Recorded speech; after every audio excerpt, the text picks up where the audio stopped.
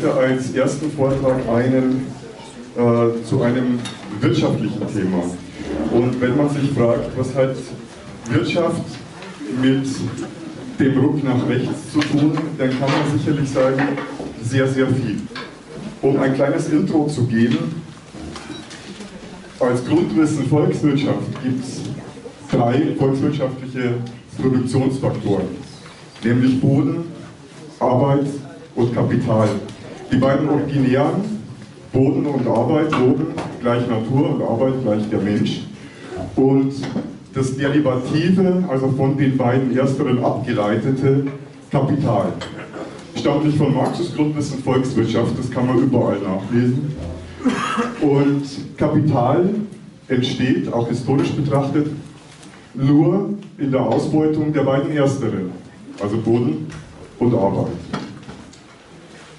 Dazu kommt, und Kapital braucht, einen zusätzlichen Faktor. Keinen Produktionsfaktor, sondern einen, äh, der schlicht und ergreifend mit dem Wort Macht zu beschreiben ist. Verfügungsgewalt über Boden, Grund und Boden und Menschen. Und da kommen wir an die entscheidende Frage. Historisch betrachtet war es immer so, dass Macht und Kapital eng miteinander verbunden und verbunden sind und einander bedingen. Die Frage ist sicherlich, muss das so sein, muss das so bleiben? Der Vortrag von Professor Bontrup hat den Titel Warum sich linke Alternativen in der Wirtschaftspolitik nicht durchsetzen und es umschrieben zunehmende Verarmung auf der einen Seite immer mehr Reichtum auf der anderen Seite, prekarisierte Arbeitsverhältnisse, Massenarbeitslosigkeit und Kinderarmut. Und die Linke setzt sich mit, ihrem alternativen, mit ihren alternativen Wirtschaftsvorschlägen, wirtschaftspolitischen Vorschlägen trotzdem nicht durch, beziehungsweise erreicht die betroffenen Menschen nicht. Wie kommt das? Ein Vortrag dazu von Professor Bottrup, den ich hiermit ganz, ganz herzlich begrüße und mich riesig freue.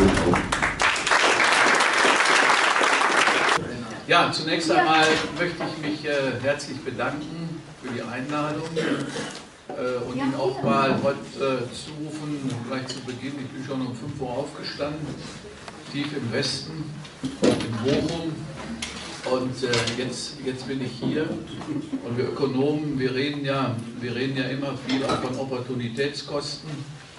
Die hatte ich dann auch gleich heute Morgen, als ich dann auf der Autobahn äh, bei Essen äh, geblitzt wurde. Äh, ich, hoffe, ich hoffe aber, dass Sie, äh, nachdem Sie mich gehört haben, äh, sagen, die Opportunitätskosten waren für mich persönlich nicht besonders hoch. Ja, äh, ich habe natürlich hier äh, einen Auftrag, äh, die Quadratur des Kreises äh, zu machen und äh, die geht bekanntlich schlecht.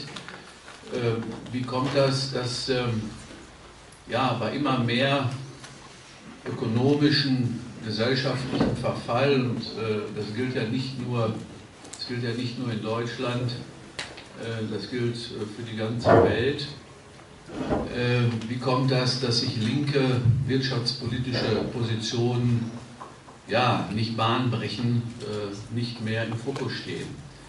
Ich meine, ich bin da ja ein leidgeprüfter Mensch, weil ich äh, fast seit 40 Jahren bin auch als Student dazu gestoßen, der Arbeitsgruppe Alternative Wirtschaftspolitik äh, angehöre und seit jetzt etwa ja, knapp zehn Jahren auch einer der beiden Sprecher dieser Gruppe bin. Viele von Ihnen werden die Arbeitsgruppe Alternative Wirtschaftspolitik kennen. Wenn nicht, äh, halte ich das für einen Skandal. ähm, wir machen ja, ja seit jetzt 40 Jahren, die Gruppe hat sich 75 gegründet. Äh, viele sagen ja, wir geben heute mit dem Memorandum jährlich äh, das Gegengutachten zum Sachverständigenrat zu den fünf Weisen heraus. Wir haben jetzt gerade das letzte Wochenende an dem Memorandum 2017 wieder heftig gearbeitet.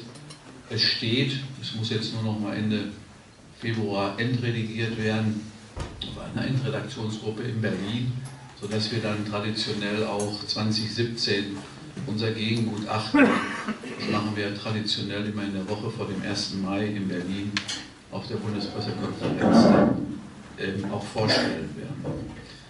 Ja, äh, woran liegt es? Ähm, man kann das, äh, wenn ich Maler, wenn ich den Matisse mal hier als Maler nehmen darf, mit ein paar klaren Strichen, kann man das, glaube ich, ganz gut skizzieren.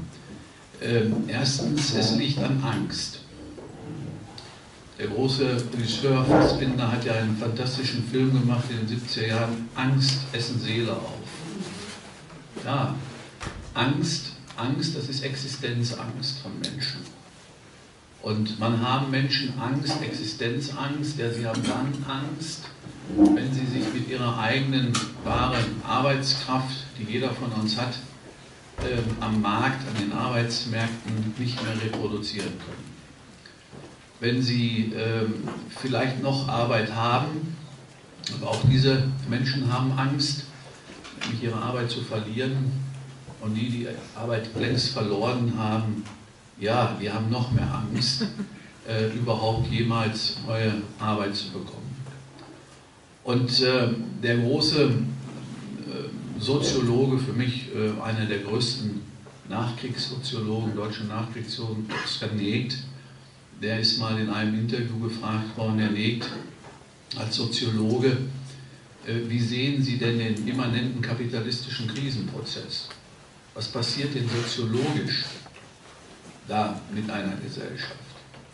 Da sagt Negt, ja, wenn die Krise da ist, dann gibt es eine erste Phase, eine erste soziologische Phase, die nennt er Adaption, Anpassung.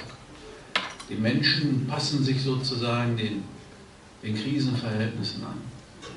Und wenn die Krise länger dauert, sagt nee, dann geht das gesellschaftlich-soziologisch eine zweite Phase über, die nennt Negt devote, devote Adaption.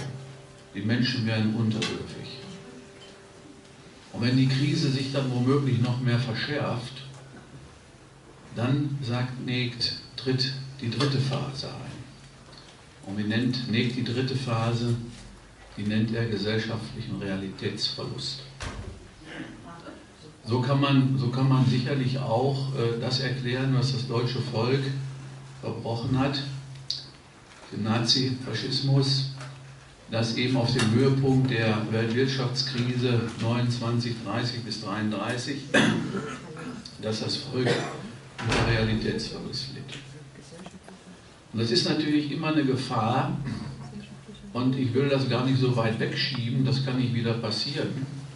Nein, das kann ganz schnell wieder passieren, denn wenn die ökonomischen Verhältnisse, die letztlich die politischen determinieren, nicht umgekehrt, wenn die immer mehr sich segmentieren und wegbrechen, wenn immer mehr Menschen ja, aus der Bahn geworfen werden, wenn das kapitalistische System sie nicht mehr braucht, wie zurzeit 25 Millionen Menschen, das sind nur die registrierten Arbeitslosen, die wirkliche Zahl ist ja viel höher, genau wie bei uns die Zahlen der registrierten Arbeitslosigkeit viel höher sind als die, die da immer ausgewiesen werden. Und man muss ja auch, man muss ja auch das gesamte Prekariat on top oben aufrechnen.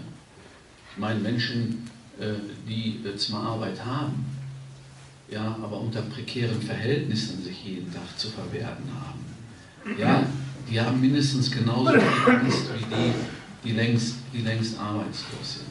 Und was ist das für ein erbärmliches ökonomisch-politisches System, das offensichtlich nicht in der Lage ist, allen Menschen, die arbeiten wollen, auch eine Chance zu geben, sich selbst zu verwerten und nicht auf eine staatliche Alimentierung, auf eine staatliche Alimentierung von Dritten angewiesen zu sein.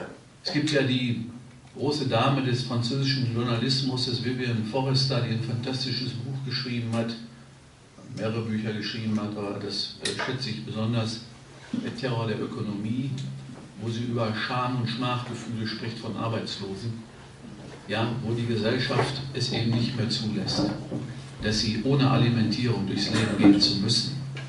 Das ist ja beschämend für jeden Menschen. Angewiesen zu sein auf Dritte, auf staatliche Alimentierung, ohne eine eigene Reproduktionsbasis durch Arbeit sich zu schaffen. das führt zu Scham und Schmachgefühl bei Menschen. Sie wenden sich dann natürlich ab, sagt sie zu Recht. Sie wenden sich ab. Man findet sie auch nicht auf Demonstrationen.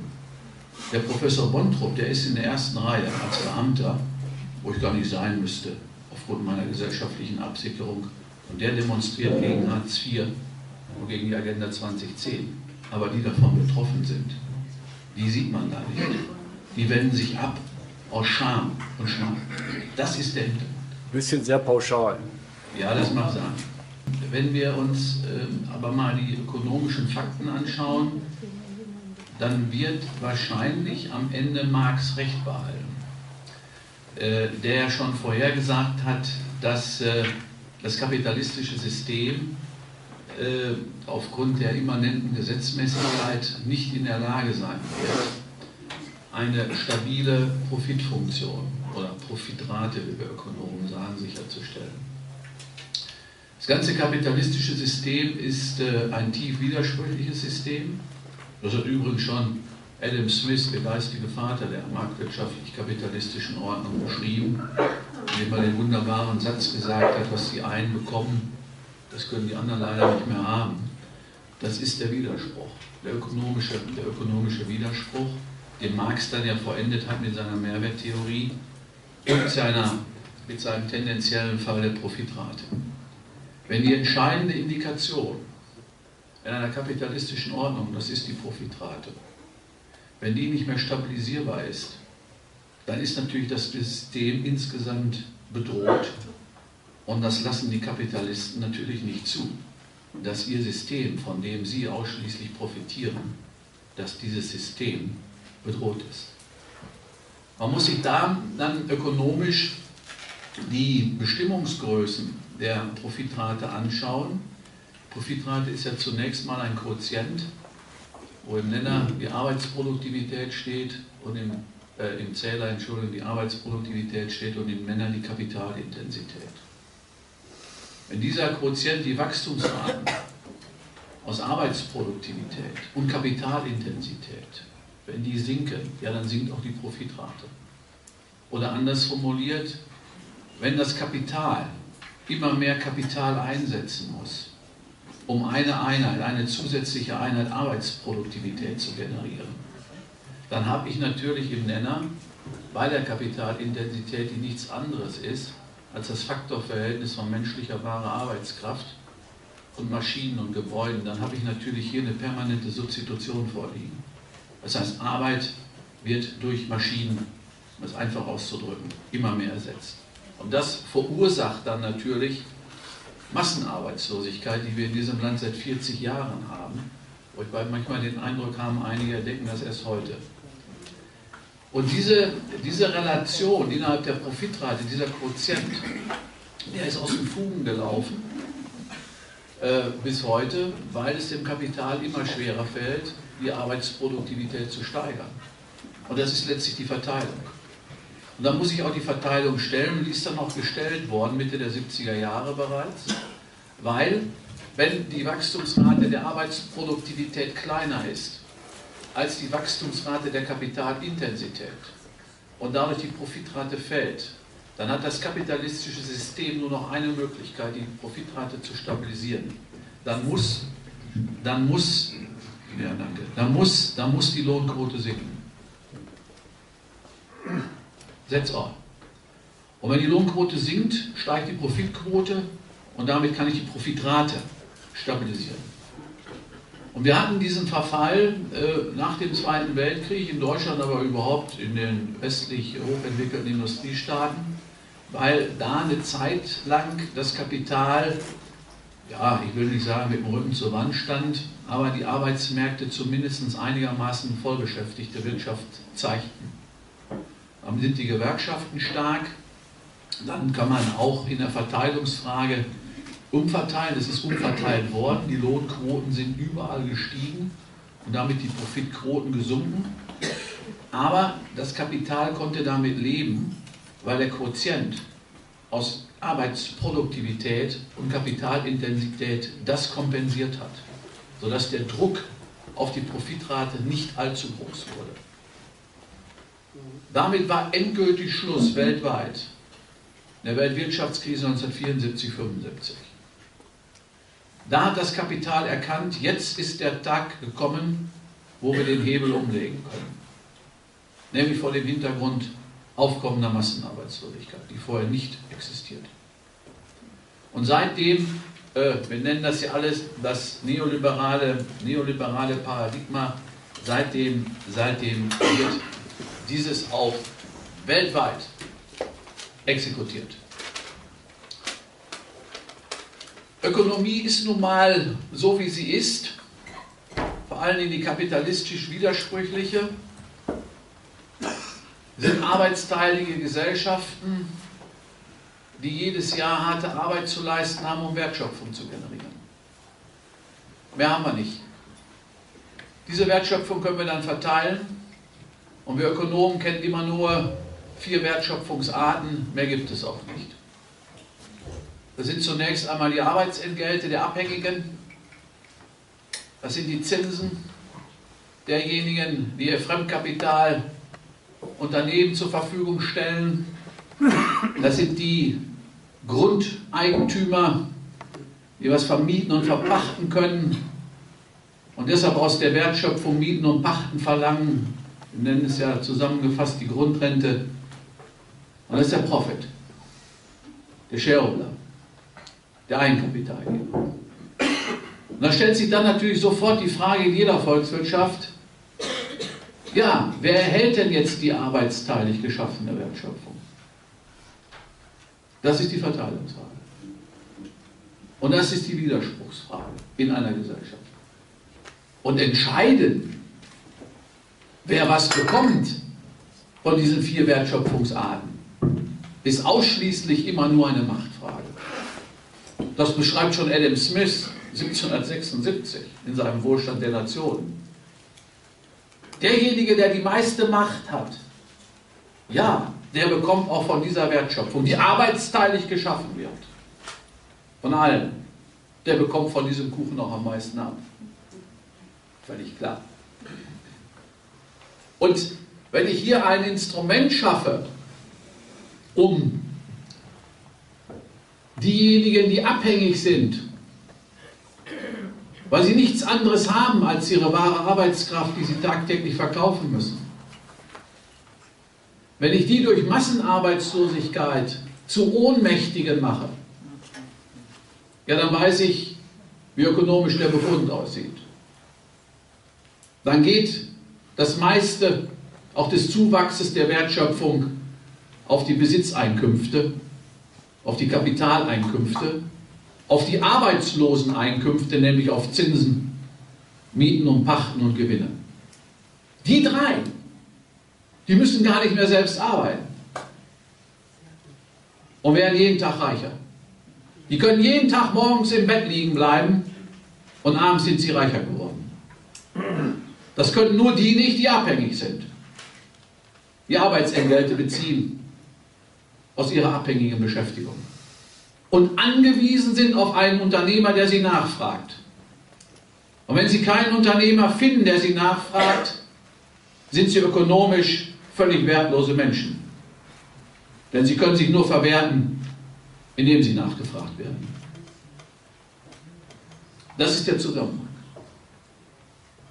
Und wenn das aus den Fugen gerät, wenn diese Befriedungsfunktion wegfällt, weil die Macht zu stark asymmetrisch wird, dann ist Gesellschaft als Ganzes betroffen. Dann verfällt Gesellschaft.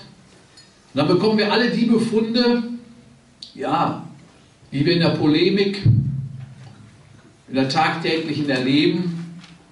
Dann gibt es Wildwuchs, dann stehen abstruse, alternative Vorstellungen, worüber man immer nur Rockucks Kuckucksheim schreiben kann, die am Ende aber nur die stützen, die die Macht haben, die die Herrschaft ausüben über die Massen. Wenn Oxfam feststellt, acht Menschen auf dieser Erde, acht, im letzten Jahr waren es noch 62, man hat das berichtigt, sind nur acht. An erster Stelle steht nach wie vor Bill Gates, wir kennen ja die acht, kannten auch die 62, davon übrigens neun Frauen. ja, wenn die so viel an Vermögen haben, wie 3,6 Milliarden Menschen zusammen, wie die Hälfte der Menschheit auf dieser Erde, dann muss man eigentlich doch zu dem Befund kommen, auf dieser Erde stimmt gar nichts mehr. Und Sie können das ja auch runterbrechen, jede Volkswirtschaft, auch auf die deutsche. 10% der erwachsenen Bevölkerung in Deutschland, ja, denen gehören 60% von ganz Deutschland. 20% liegen bei etwa 84%. Dann stimmt hier was nicht.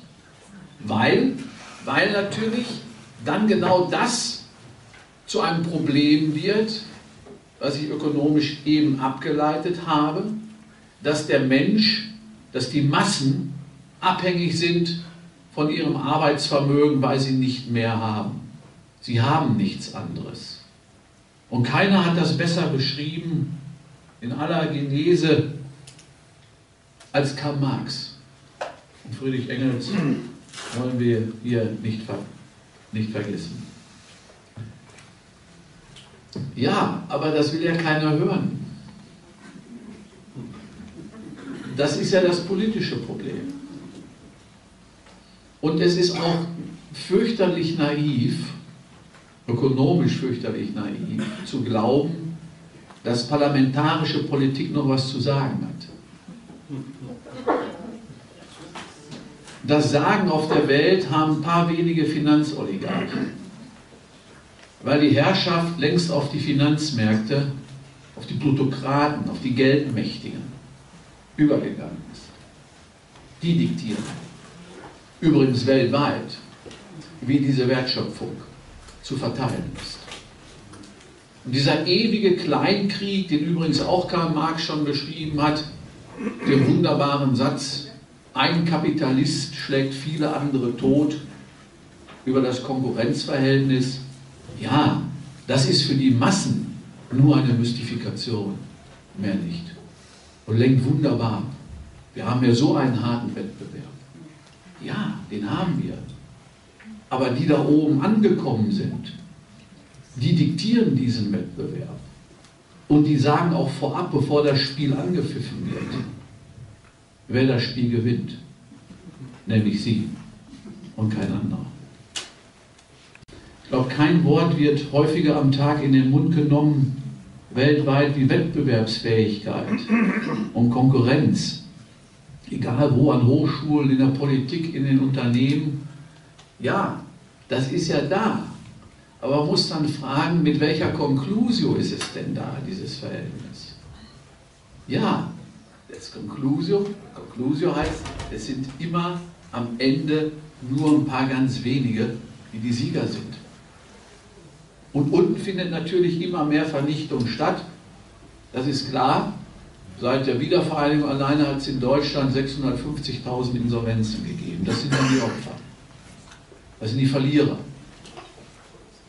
die nicht mithalten konnten.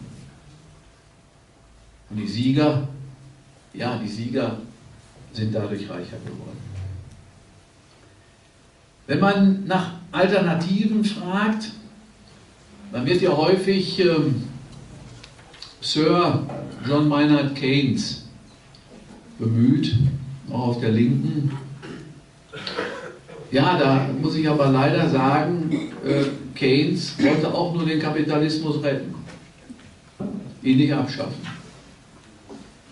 Er war ja vor dem Hintergrund der Weltwirtschaftskrise 29 ein tief liberaler Mensch, ein Antimarxist, der ja, erschrocken, entsetzt war vor dem Hintergrund seiner empirischen Analyse der Weltwirtschaftskrise, wie systemimmanent krisenhaft dieses System ist. Seinerzeit war weltweit an den Universitäten, bei den Ökonomen, ja, das Liberale, der Staat, der Nachtwächterstaat, um hier nochmal Lassalle zu zitieren, war in aller Munde. Der Staat hat sich rauszuhalten aus der Wirtschaft. Die Märkte regeln das selbst. Und wenn die Krise da ist, die natürlich kapitalistisch immanent ist, dann hat sich der Staat eben dieser Krise anzupassen. Wachstum bricht weg, Steuereinnahmen gehen zurück da muss der Staat sich auch bescheiden und muss seine Staatsausgaben reduzieren. Das war die Lehre weltweit, die übrigens heute unser Finanzminister unter anderem Schäuble massiv vertritt mit seiner schwarzen Null. Und Keynes, und Keynes, der so ausgebildet war, sein Lehrer war ja Alfred Marshall, der, einer der Gründer der Neoklassik, erkannte, dass die Lehrbücher ja überhaupt nicht stimmen. Alle Welt verhielt sich so, Beggar My Namer Policy, also Protektionismus, was Trump da jetzt auf dem Schirm hat, oder Brexit, die Briten, funktionierte nicht. Sondern die Krise verschlimmerte sich. Immer mehr Arbeitslose, immer weniger Wachstum, immer weniger Steuereinnahmen. Und sie gaben immer weniger aus auf der Staatsausgabenseite. Wo diese, heute nennen wir es ja Austeritätspolitik, wo die dann geendet ist, wissen wir doch alle. Am Ende wurden 50 Millionen tote Menschen beklagt. Von den anderen Grausamkeiten war gar nicht erst zu reden. Jetzt will ich nicht sagen, wir stehen vor dem nächsten Dritten Weltkrieg, wenn wir so weitermachen. Aber lassen Sie uns doch das mal nüchtern analysieren. Was machen wir denn? Wir machen ja nicht mal mehr einen Bastard-Keynesianismus. Also Keynes hätte sich immer dagegen verwehrt, nur diese, diese Hydraulik zu machen, dieses, dieses Antizyklische. Ja, das ist kurzfristig notwendig, hat er diesen wunderbaren Satz auch gesagt, in the long run we are all dead. Also, langfristig sind wir alle tot. Äh, dass äh, kurzfristig das schon nötig ist, dieses Antizyklische. Das kann man ganz einfach erklären. In der Krise fällt private Nachfrage aus. Punkt. Die Konsumenten konsumieren weniger und die Unternehmen investieren nicht mehr. Punkt. Also fallen zwei, beiden großen, größten Nachfrageaggregate, die fallen aus. So, dann gibt es weniger, weniger Arbeit. Die Unternehmen verhalten sich völlig rational, schmeißen die Leute raus. Ja, natürlich haben ja keine andere Möglichkeit. Es ist betriebswirtschaftlich völlig rational, dass sie das machen. Weil sie vom Untergang bedroht. Und die, die bleiben dürfen, denen kürzt man das Geld, das Einkommen. Und die Gewerkschaften geben den Segen dazu. So, damit wird aber die Krise verschärft. Das hat der Keynes erkannt. Und wenn jetzt der Staat auch noch Nachfrage aus dem System rausnimmt, indem er weniger ausgibt, weniger Staatsaufträge vergibt, dann gehen wir alle ins gelobte Land der Vollbeschäftigung, oder wie? Dann könnte ich genauso gut sagen, und morgen erzähle ich euch, ja, das ist eine Scheibe, aber das nehmt ihr mir nicht ab. Aber das andere glaubt man, das ist der Skandal. Das ist die politische und gesellschaftliche totale Verblödung. Das ist Volksverdummung in Vollendung. Das ist ja nicht mal erstes Semester. Nicht mal erstes Semester. Das ist einfach nur gesunder Menschenverstand. Und das war ja, das war ja eben auch dann die, die Erkenntnis, Keynes hat das ja die einzelwirtschaftliche Rationalitätsfalle genannt, die kapitalistisch immanent ist. Was meinte er damit? Ja, einzelwirtschaftlich verhalten sich die privaten Haushalte völlig rational, weil sie Angst haben und geben weniger aus, sie sparen. Die Unternehmen verhalten sich völlig rational, die hören ganz einfach mit dem Investieren auf. Das ist rational. Es ist völlig rational, dass sie die Menschen entlassen und rausschmeißen. Und die, wie ich sagte, bleiben dürfen, noch bleiben dürfen, den kürzt man das Arbeitseinkommen. Das ist völlig rational. Nur wenn es alle machen, sagt Keynes, dann bin ich tief erschrocken, weil sie dann nämlich alle wie die Lemminge in den Abgrund laufen. Das war's dann, Exitus. Und da ist ihm ja, weil er den Kapitalismus retten wollte, und kein Antikapitalist war, sondern Kapitalist war in seinem Denken, Da ist ihm dann nur der Staat eingefallen. Der muss sich eben dann antizyklisch verhalten. Der muss die ausfallende private Nachfrage durch staatliche Nachfrage auf Pump, auf Kredit ersetzen, weil er traute den Politikern nie. Sagt er, bevor die ein Gesetz gemacht haben, das wir Steuergesetz nennen, da sind wir alle tot. Es ist sofort zu handeln. Und Steuersenkungen, das wäre ja auch ein Instrument, um Nachfrage anzureizen. Das ist aber nur die zweitbeste Lösung. Die kann man ökonomisch ganz einfach erklären. Wenn ich den Privaten und den Unternehmern die Steuer senke, in der Hoffnung, dass dadurch ein Anreiz geschieht, dass sie dann wieder mehr konsumieren und mehr investieren, was sie vielleicht sogar tun, dann geht aber ein Teil dieser Steuersenkung in die Ersparnis.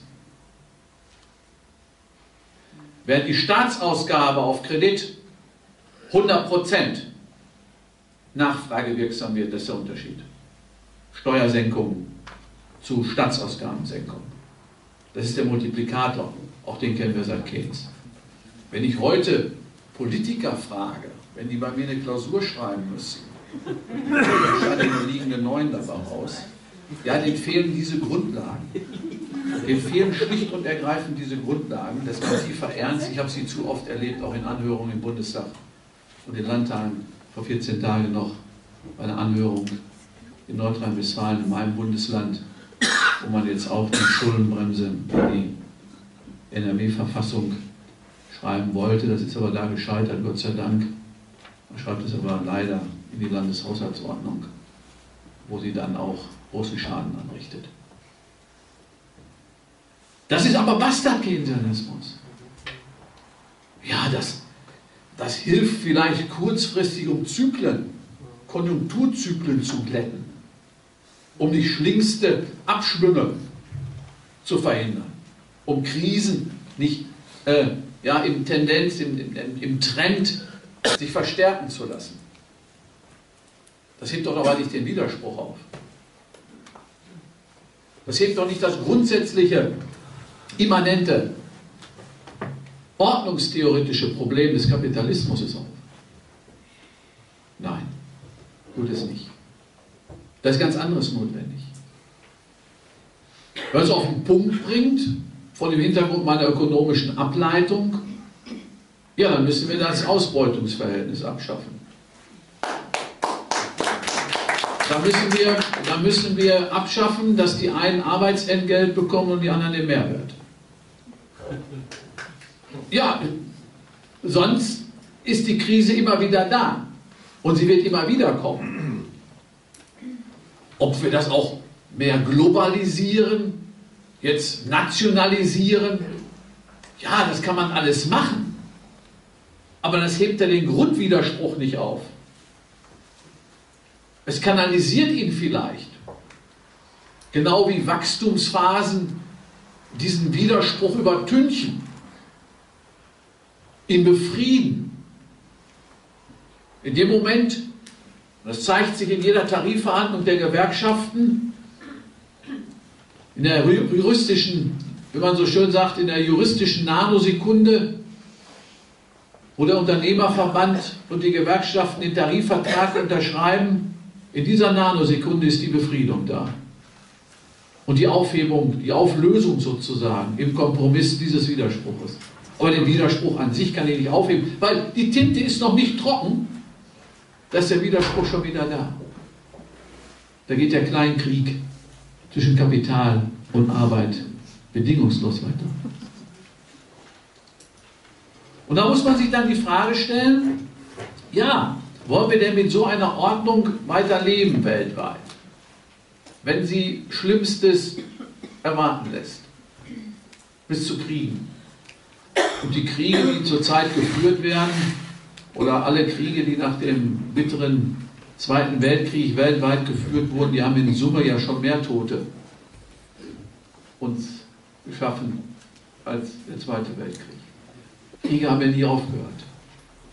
Es sind Rohstoffkriege, es sind Verteilungskriege. Letztlich sind es alles Verteilungskriege. Ja. Und Wie, wie, stark, wie stark auch hier die Macht weltwirtschaftlich greift, das sehen wir darin, dass alle Welt sich aufregt national, wenn irgendwelche Kartellbildungen stattfinden, wenn sich da ThyssenKrupp mit was weiß ich wem ins Bett liegt und Schienen, Schienenstränge, Stahl im Preis abspricht. Das OPEC-Kartell der ölexportierenden Länder, das ist das schlimmste Kartell. Regt sich da einer drüber auf? Äh, das sind Nationen, die das machen. Länder. Wenn ich da was gegen habe, will die zerschlagen will, dann muss ich denen den Krieg erklären. ThyssenKrupp kann man mit dem Bußgeld belegen. 300 Millionen erwischt. Pech gehabt. Aber dieses OPEC-Kartell spricht den wichtigsten Rohstoff, den die Menschheit hat. Das schwarze Gold. Das Öl. Den Preis sprechen die ab. Die kommen zusammen. Wunderbares Hotel vom Feinsten. Und da sagen sie Finger rauf, runter, wie sie es gerade haben wollen. Da regt sich keiner drüber auf. Aber der Ölpreis, der bestimmt unser aller Leben, so wie wir hier gerade auch im Raum sitzen. Was meinen Sie wohl, wenn der mal wieder hochschert, ist er zurzeit etwa bei 50 Barrel, 50 US-Dollar pro Barrel, wenn er mal wieder auf 100, 140 hochgeht. Wissen Sie, was das verteilungspolitisch bedeutet, Realiter für die Welt?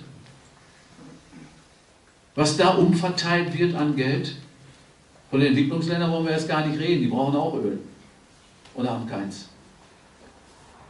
Welche gigantischen Umverteilungsströme damit verbunden sind?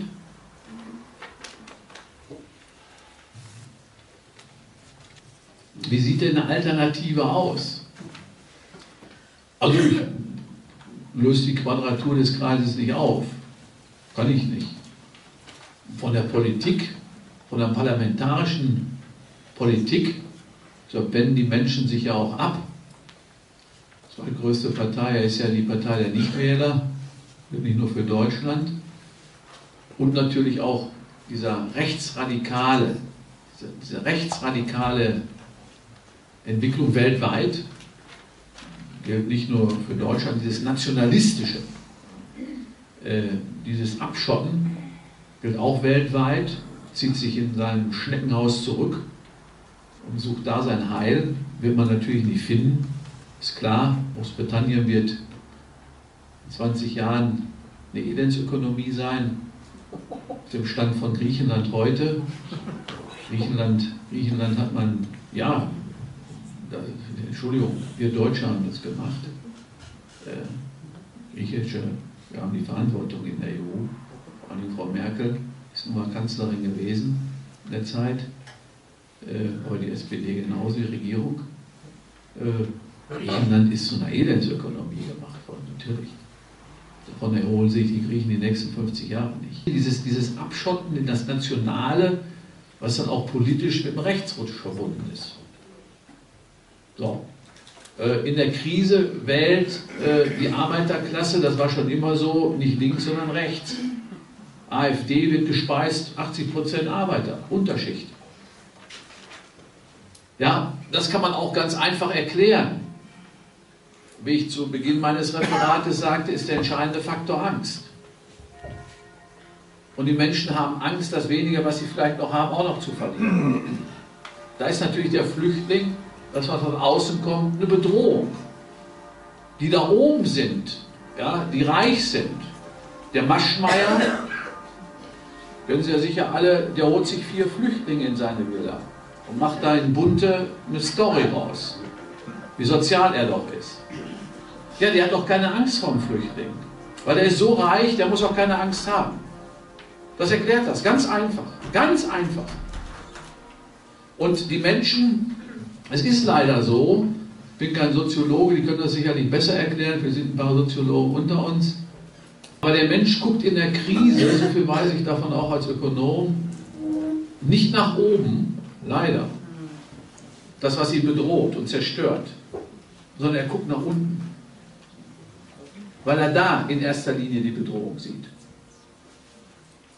Weil er Angst hat, dass das darunter ihn angreift und ihm das nimmt, was er eigentlich schon längst gar nicht mehr hat. Mangelndes Klassenbewusstsein nennt man das. Oder würde ich das nennen? Ja, du bist ganz schlauer. Dies führt natürlich dazu, in der, ja, in der Schlussfolgerung, dass sich die Gesellschaften auflösen, vornehm ausgedrückt, wissenschaftlich ausgedrückt, segmentieren, immer mehr segmentieren in Arm und Reich. Man, Deutschland ist in Summe eines der reichsten Länder der Erde und wir haben eine Armutsquote, wird ja jetzt auch im Armuts- und Reichtumsbericht, da streitet man, streitet man in ein paar, paar Formulierungen, ist man da ja noch am Kämpfen, was da jetzt genau drin stehen soll, aber da werden 60, 16 Prozent stehen, Armutsquote in Deutschland. Einem der reichsten Länder der Erde. Jedes fünfte Kind wächst bei uns in Armut auf. Suppenküchen in fast allen Städten, Armutsspeisung. Ja, die haben sich schon zum Verband zusammengeschlossen, Tafel e.V. Und haben eine Fete gefeiert, die tausendste Tafel eröffnet. Ja, sie lachen, aber das ist traurig. Ja, das zeigt, das zeigt, dass ich, das ist ja das Schlimme und das geiseln wir auch ja seit 40 Jahren Arbeitsgruppe Alternative Wirtschaftspolitik, dass die Menschen nur in Symptomen denken können und dass sie leider nicht kausal denken können, in Ursache-Wirkungsverhältnissen. Auch der Mindestlohn ist nur ein symptomhaftes Bekämpfen von Arbeitslosigkeit.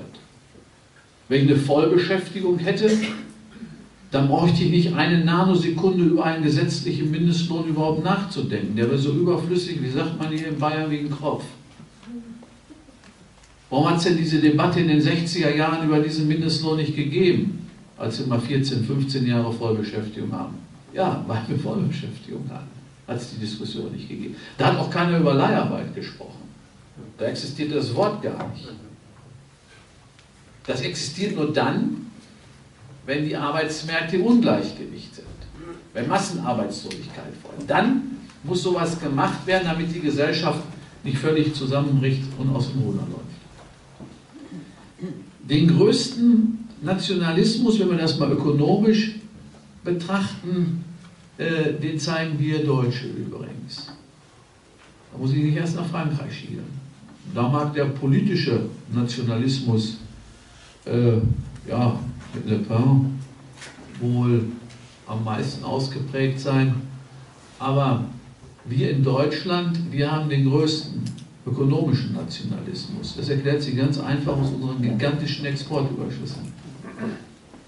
Kein anderes Land in der EU oder weltweit, wir sind ja wieder Exportweltmeister geworden im letzten Jahr, äh, hat so einen Exportüberschuss wie wir. Auch China nicht? Nee. Und wir erlauben es uns mittlerweile 7, 8 Prozent, was ja relativiert, des sogenannten Bruttoinlandsproduktes, also der gesamten wirtschaftlichen Leistung, an Exportüberschuss zu generieren. In jedem Lehrbuch steht, dieser Saldo hat Null zu sein. Punkt, Diskussion beendet. Wir liegen bei 8 Prozent. Und als größte, kommt ja dann noch erschwerend hinzu, ich meine, die Holländer haben auch einen leichten Überschuss, aber das liegt auch daran, weil sie Rotterdam haben, weil das Öl über Rotterdam verschifft wird. Aufwand, die Österreicher haben auch einen leichten Exportüberschuss. Aber das sind Volkswirtschaften, die kann man natürlich nicht mit der Volkswirtschaft Deutschlands vergleichen, von der Größe nicht. So. Nehmen Sie die EU 28, nehmen Sie Deutschland raus, dann haben wir die EU 27. Dann schauen Sie in die Leistungsbilanzen dieser EU 27 kumuliert in Summe, dann finden wir wunderbar das Lehrbuch dort wieder. Das steht nämlich fast eine Null. Steht eine Null. Super. Dann haben wir bei den anderen riesen, riesen Importüberschüsse, weil sonst könnten wir die Exportüberschüsse nicht haben. Und ich habe mal gelernt, als Ökonom, Länder, die mehr importieren als exportieren, die leben über ihre Verhältnisse und werden davon irgendwann eingeholt und auch ökonomisch richtig hart bestraft. Und die Länder, die mehr exportieren als importieren, die leben unter ihren Verhältnissen, so wie wir. weil sonst könnten wir nicht exportieren. Wir produzieren ja mehr pro Jahr, als wir selbst konsumieren. Das treibt aber die anderen leider in die Verschuldung. Weil man kann Importgüter nur bezahlen mit Exportgütern. Das ist natürlich ein Problem von Griechenland. Die haben ja chronische Importüberschüsse. Alle Griechen wollen Auto fahren, produzieren aber selbst keins. Das heißt, sie müssen alle Autos importieren. Die können sie nur bezahlen mit ihren Oliven.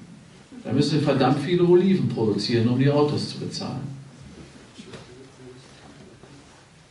Ja, wenn man, wenn man dann die EU aber so baut, wie sie gebaut worden ist, und nicht bereit ist, in dieser EU Solidarität zu üben, auch in der Krise, ja, dann ist das Gebäude, das man da EU nennt, natürlich hochgradig bedroht. Politisch und ökonomisch. Beides. Klar haben die Griechen den Euro genutzt, um sich zu verschulden. Vor der Verschuldung mussten sie 5, 7, 8 Prozent teilweise Zinsen zahlen für ihre Kredite. Kreditwürdiger waren sie leider nicht. Und mit dem Euro gingen sie runter auf 2 bis 3 Prozent. Das war süßes Gift.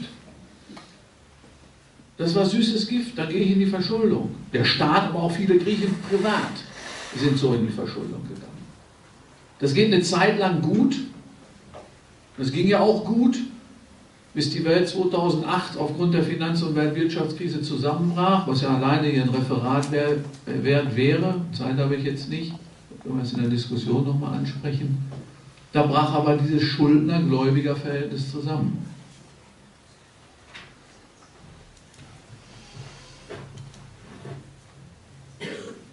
Die Lösung dafür,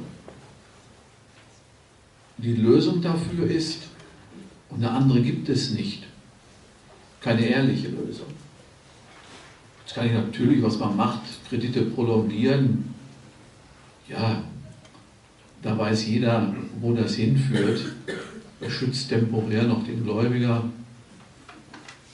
und der Schuldner wird am Ende fürchterlich hingerichtet, vorher noch gefoltert. Das nützt niemandem.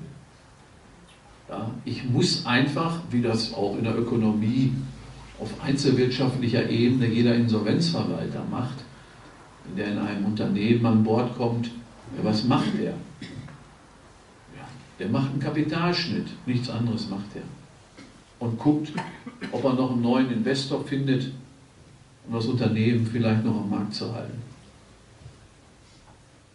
Auch das muss man hier machen, ein Kapitalschnitt, ein Vermögensschnitt. Der ist ja einmal in Griechenland gemacht worden mit 110 Milliarden. Da habe ich damals schon Aufsätze geschrieben, das wird nicht reichen. Genauso ist es gekommen. Nur das heißt natürlich, dass die Gläubiger verlieren. Die müssen das bezahlen. Das ist doch klar. Die Vermögenden müssen das bezahlen. Das ist nun mal so. Ja, dass der Vermögende, der auch vorher sich bereichert hat, dem Schuldner jetzt eine Entlastung geben muss, sonst sterben beide. Wenn ich dem Schuldner keine Möglichkeit gebe, durch einen Vermögensschnitt, durch einen Schuldenerlass neu durchstarten zu können, ja, dann war es das. Gilt auch für jeden Privaten. Wir haben ja deshalb auch zu Recht im deutschen Insolvenzrecht, finde ich gut und richtig, auch die Möglichkeit der privaten Insolvenz. Vorher kamst du aus dem Schuldenturm nie mehr raus. Zeit deines Lebens. Das gilt genauso für Volkswirtschaften. Das, was Draghi jetzt macht, äh, na klar, er schützt die Reichen und Vermögenden mit seiner, mit seiner Geldpolitik, mit seiner expansiven Geldpolitik. Aber gleichzeitig macht er auch einen Kapitalschnitt. Ich nenne das aber einen atomisierten Kapitalschnitt. Keinen gezielten, der notwendig wäre. Weil den Kapitalschnitt, den Draghi macht, diesen atomisierten, der trifft auch unser Oma. Entschuldigung. Mit ihren 20.000 mühselig abgesparten Geld. Klar, beim Zins von null, nominal aus nur eine Inflationsrate von 1%, dann hast du einen negativen Realzins von 1%. Das frisst dann dein Vermögen auf. Das trifft aber alle. Weil man sich politisch, selbst Draghi, nicht traut, ihn gezielt zu machen. Was notwendig wäre bei den wirklich Reichen. Aber wo ist da die Politik? Wo sind die Politiker? Ich habe noch keinen gehört, selbst die von der Linkspartei nicht, die diesen gezielten, diesen gezielten Kapitalschnitt, da müsste ihn weltweit machen. Aber wir könnten ja mal in Europa mit den 28 Staaten anfangen, der diesen Kapitalschnitt fordert. Wenn der nicht kommt, dann befürchte ich das Schlimmste für alle. Dann ist die Krise nicht aufhebbar und auflösbar. Es geht nicht. Weil, äh, ganz einfach, und da bin ich äh, dem Kollegen Michael Hudson, US-amerikanischer Ökonom, der jetzt ein fantastisches Buch geschrieben hat, der Sektor, der übrigens der einzige Ökonom war, der 2006 die Krise vorhergesagt hat. Es war wirklich der einzige. Der gesagt hat, vor dem Hintergrund der aufbauenden Immobilienblase in den USA, aber auch in Europa, das Ding wird im halben Jahr hochgehen. Das ist auch so gekommen. Hudson sagt in seinem gerade vorgelegten Buch, der Sektor, dem Sektor meinte er das Finanzkapital, wenn man diesen Kapitalschnitt nicht macht, und zwar brutal, vor dem Hintergrund des Faktors 3,5, den wir weltweit haben. Das heißt, das weltweit zirkulierende Finanzvermögen ist 3,5 mal so groß wie die reale weltweite Produktion. Gibt es keine Zukunft. Dann gibt es Krieg. Weil es ist doch völlig klar, Faktor 3,5. 1980 war der Faktor noch 1. Ausgeglichen. 1, 1. Faktor 3,5 heißt, dass diejenigen, die Eigentümer dieses Finanzvermögens sind, aus der Wertschöpfung, der realen Produktion, die am Ende des Tages überbleibt, 3,5 Mal mehr haben wollen. Wie, soll das gehen? Ohne Krieg? Ohne Verteilungskrieg? Bitte, wie soll das gehen? Und dieser Faktor wächst von Tag zu Tag. Der stagniert nicht mal, der wächst. Über den Zinseszinsmechanismus, den wir alle kennen. Und das Erbärmliche daran ist, dass dieses Wachstum und diese völlig disproportionale Verteilung dieses Wachstums Menschen in die Hände spielt, die nicht mal wissen, wie Arbeit geschrieben wird. Wie wird sie das aber auflösen? Wo ist denn hier die Partei? Oder Parteien weltweit, die diese ökonomische Pervertierung kapitalistisch immanent auch nur noch einigermaßen aussteuern wollen. Wer bitteschön soll das denn noch machen? Weil die, die das Vermögen mittlerweile akkumuliert haben, die werden davon nichts rausrücken, jedenfalls nicht freiwillig. Das werden sie nicht tun. Ums Verrecken nicht. Sie verstehen es ja auch nicht. Wir sehen, ah, weiß ich nicht, äh, wir, sehen das, wir sehen das ja, äh, wir stehen ja jetzt in Deutschland, Nordrhein-Westfalen, im Bund hat ja der Wahlkampf längst begonnen. Die Partei in Deutschland, das traut sich ja nicht mal die Linke zu, die Partei in Deutschland, die radikale Steuererhöhungen fordert, obwohl am Ende des Tages damit auch nichts mehr erreichbar ist. Zenit ist längst überschritten. Aber selbst wenn wir das mal als Prämisse unterstellen, die wird vom deutschen Michel im September abgestraft und nach Hause geschickt. Das hat der letzte Bundestagswahlkampf gezeigt, wo die Grünen und auch die SPD, wir haben das seinerzeit in der Arbeitsgruppe Alternative Wirtschaftspolitik, wir haben uns die steuerpolitischen Programme natürlich wissenschaftlich angeguckt und den Befund dann gehabt, wir haben das bei uns abgeschrieben, fanden wir richtig gut, fanden wir richtig gut. Und wie der deutsche Michel darauf reagiert hat, wissen wir auch. Die Grünen haben dann am Wahlabend ihren letzten linken, oder soll ich sagen pseudo-linken, Trittin verloren. Und wie diese Partei tickt, das haben wir gerade auch beim Wahlgang der Basis gesehen, wie man da zu Spitzenkandidaten gemacht hat. Da ist doch nichts zu erwarten. Das ist doch nichts zu erwarten am politischen Bewusstsein, an, an Veränderungskraft, ja, diese ökonomischen Verhältnisse, die letztlich immer ja auch die politischen determinieren, hier in eine Veränderung, einen wirklichen Paradigmenwechsel hineinzutragen. Und wie erbärmlich, wie erbärmlich äh, dass mittlerweile, wie erbärmlich die politischen Verhältnisse verfallen sind, das sieht man an dem Schulz. Ja, da legt die SPD dann drei oder vier Prozentpunkte zu, weil er gesagt hat, er sei ein Europäer. Ja, das würde die Merkel auch immer sagen. Warten wir mal ab, Schulz. Ja, und das wird jetzt schnell kommen, wenn man dich auffordert, mal, wie sagt man, Butter bei die Fische zu geben. Und äh, wirklich mal zu sagen, was er denn wirklich will. Aber ich befürchte, äh, das wird alles nicht mehr reichen, soll alles nicht mehr ausreichen, weil natürlich auch die Volkswirtschaft, eben da sieht man nationalistische, protektionistische Tendenzen weltweit, äh, selbst bis in die Linke hinein, Abschaffung des Euros wird da diskutiert, ich fasse es nicht. Die das fordern, die können auch nicht von 12 bis Mittag ökonomisch denken. Es ist so, ja, können wir durchspielen ökonomisch, Euro abzuschaffen oder wir gehen raus und die anderen bleiben drin oder was da alles wild äh, diskutiert wird. Äh, das ist alles Massengrab am Ende und verschlimmbessert äh, die Situation und verbessert sie nicht. Da möchte ich nur daran erinnern, was war denn vor dem Euro?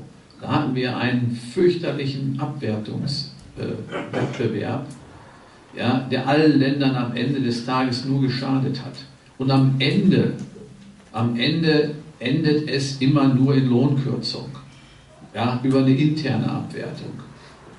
Das ist zweites Semester Volkswirtschaftslehre. Außerdem, außerdem, wie sollen denn dann die Schulden überhaupt noch jemals zurückgezahlt werden? Die sind, in, die sind jetzt in Euro faktoriert. Wenn die die Lira kriegen oder das ist dann ja, gar nichts mehr wert, dann müsste außerdem parallel sofort ein Kapitalschnitt gemacht werden. Aber den Kapitalschnitt habe ich ja gerade schon referiert, den will keiner. Es ist aber so, es ist aber so, dass immer die Gleichung gilt, Vermögen gleich Schulden. Vermögen gleich Schulden, ist eine Gleichung. Eine Gleichung. Und wenn ich Schulden abbauen will, in der Gleichung, ja, dann muss ich auch Vermögen vernichten. Sonst geht das nicht. Genau wie die Gleichung immer heißt, Einkommen gleich Kosten. Schreibt dann in der Vorlesung im ersten Semester, schreibe ich groß an die Tafel, erste Vorlesung. Einkommen gleich Kosten. Versteht keiner. Ich sage, reduzieren Sie doch jetzt in dieser Gleichung mal die Kosten. Was passiert denn da mit dem Einkommen? Und sagen die, das geht ja dann auch zurück. Ist ja richtig. Dann denken Sie mal gesamtwirtschaftlich bis zur nächsten Vorlesung darüber nach. So, und, aber das, das ist gleichzeitig natürlich auch das politische Problem. Dass die, die mittlerweile dieses Einkommen ihr Eigentum nennen, das nicht mehr rausrücken wollen. Wer will das auch schon? Wer will das? Das macht kein Individuum. Selbst der nur ein kleines Eigentum hat, der macht sie und unterscheidet sich nicht von einem Menschen, der ein großes Eigentum hat. So, das kann nur Politik, demokratisch legitimierte Politik durch Gesetze, nur da muss auch in den Köpfen der Politik dieses Bewusstsein für die ökonomische Notwendigkeit vorhanden sein. Aber damit haben wir gleichzeitig wieder das Problem, das ist ein immanentes politisches Problem einer parlamentarischen Demokratie, die immer eine Parteiendemokratie ist, dass es keine neutrale Politik gibt. Parlamente sind immer mit Interessen besetzt, nämlich durch die Parteien. Das ist hier der Widerspruch, dass es keine Lösung gibt. Ich meine, widersprüchlich ist es natürlich auch, wenn ein Abhängiger die CDU-CSU wählt oder die Grünen wählt. Ja, so weit muss man ja gehen, oder die SPD wählt. Ein Abhängiger kann heute nur noch die Linkspartei wählen.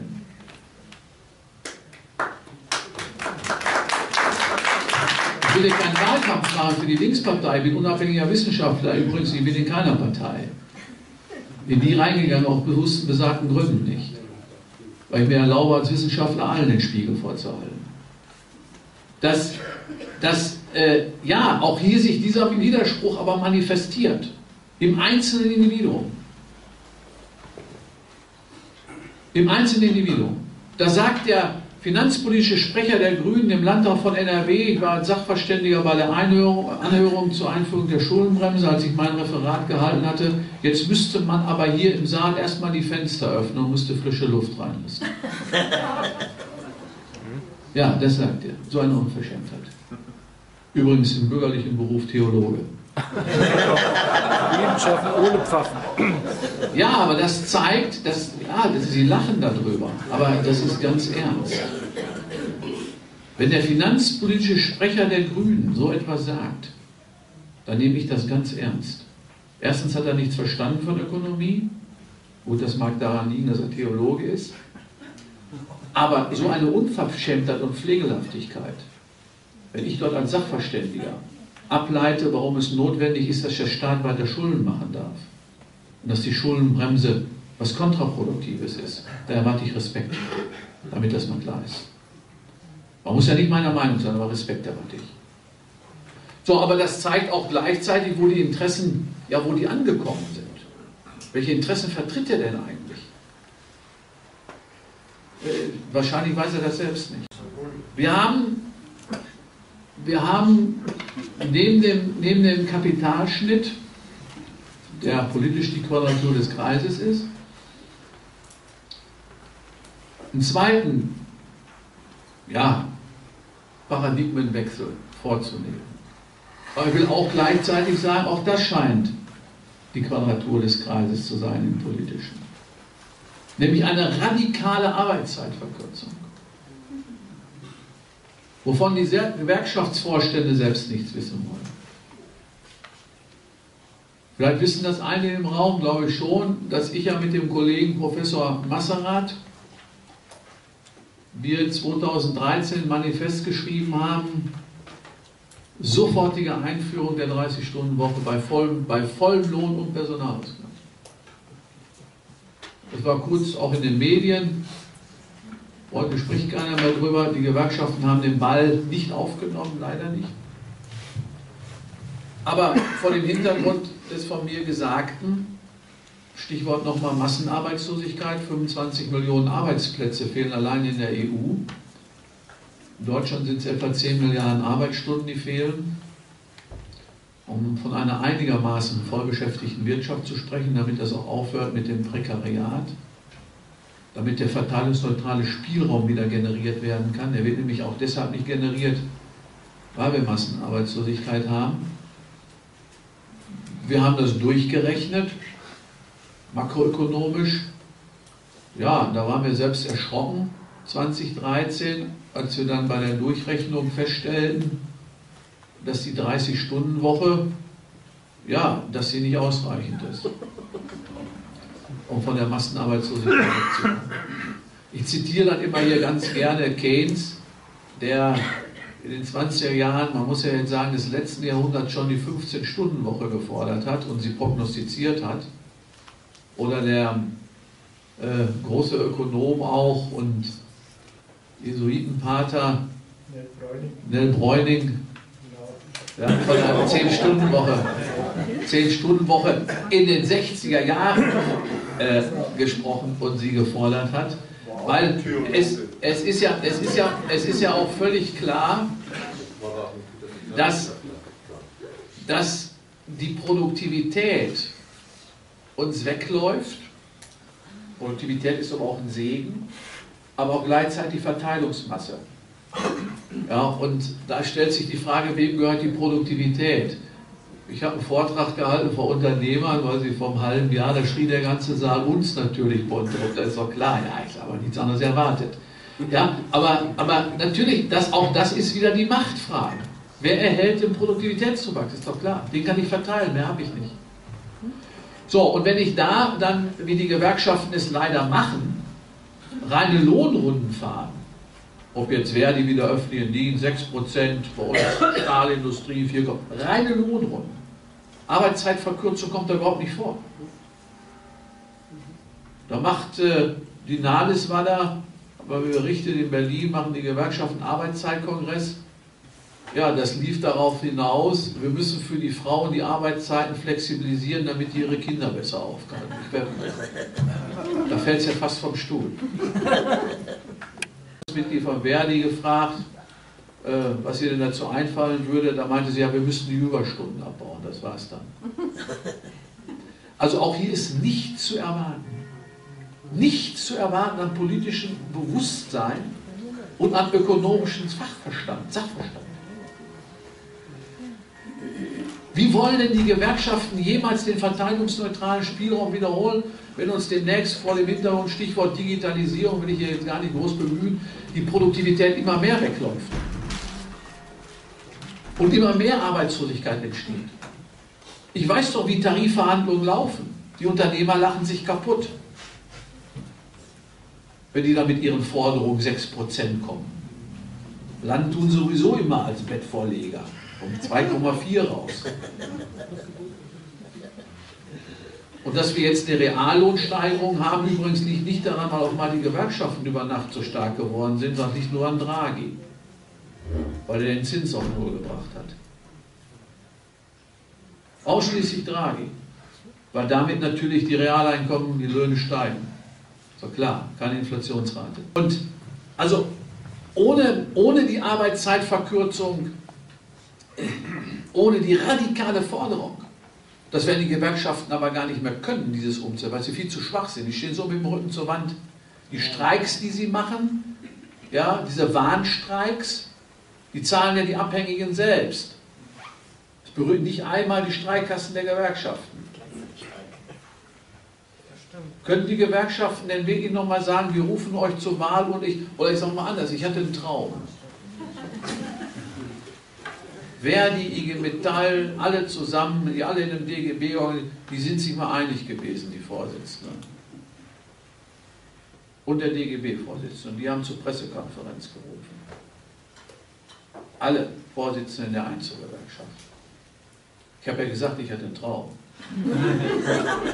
Und die sagen dem deutschen Volk und den Unternehmern, jetzt ist Schluss mit der Umverteilung. Das spiele ich aus. Und jetzt werdet ihr unsere geballte Macht, die wir noch haben, die werdet ihr jetzt kennenlernen. Ihr wer? Die Unternehmerverbände und die Unternehmer. Wir fordern und setzen das auch durch, indem wir in den Streik treten. Nicht im Warenstreik, die Kollegen, aber der Firma Willi Wurst für zwei Stunden auffordern, nochmal richtig dem Kapital es zu zeigen. Nein, wir rufen alle Abhängigen zur Wahlurne ja, zur Wahlurne und dann entscheiden die über Streik, unbefristet. Ja, was passiert denn dann, Leute? Ne, sie werden es nicht machen, weil sie es gar nicht können, weil sie dies gar nicht finanzieren können. Das zeigt aber, wie am Ende sie sind. Das ist eine große Gefahr für das Ganze.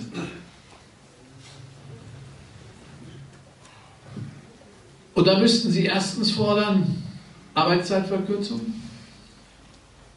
zweitens Arbeitszeitverkürzung und drittens Arbeitszeitverkürzung und nichts anderes. dass ihr in Bayern noch einigermaßen an den Arbeitsmärkten auf Rosen gebettet seid. Ich lade auch alle mal ein, in Europa zu kommen.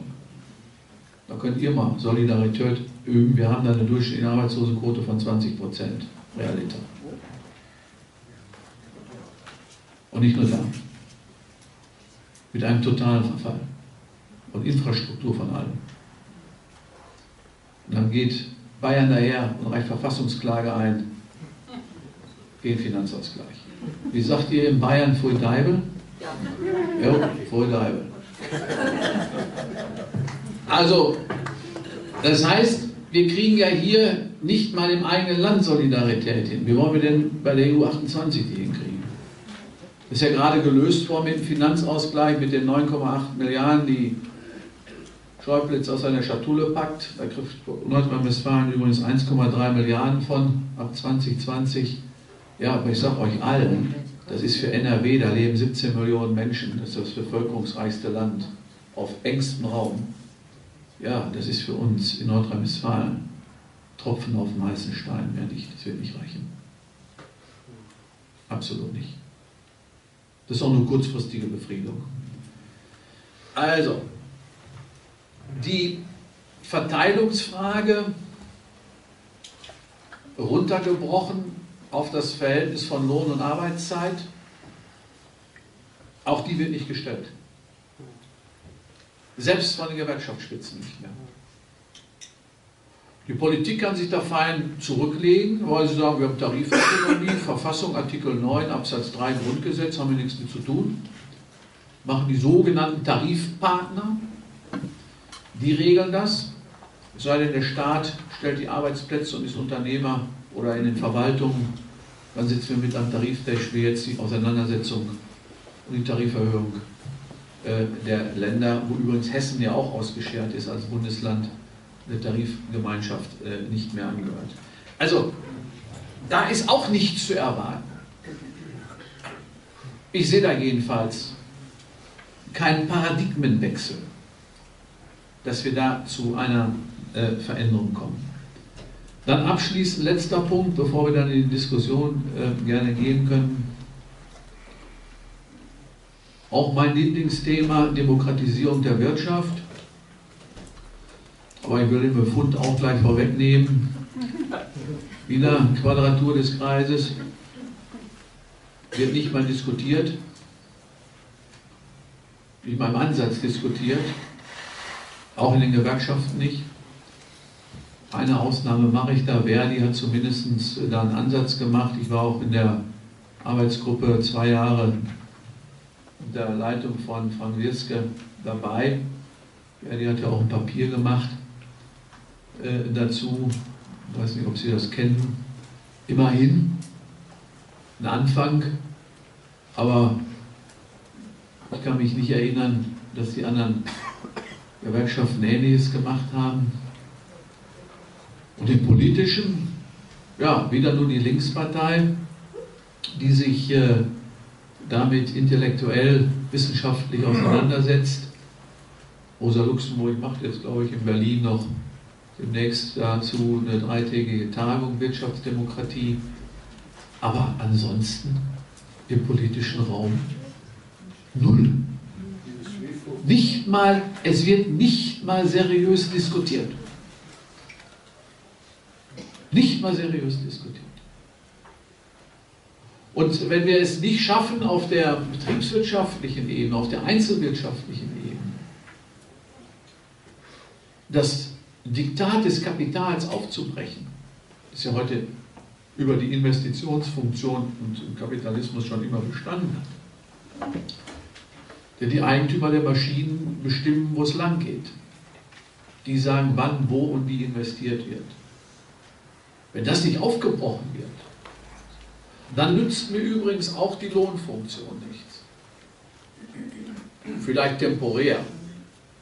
Da empfehle ich bei Keynes nachzulesen, äh, der Krug der Witwe, der unerschöpflich ist.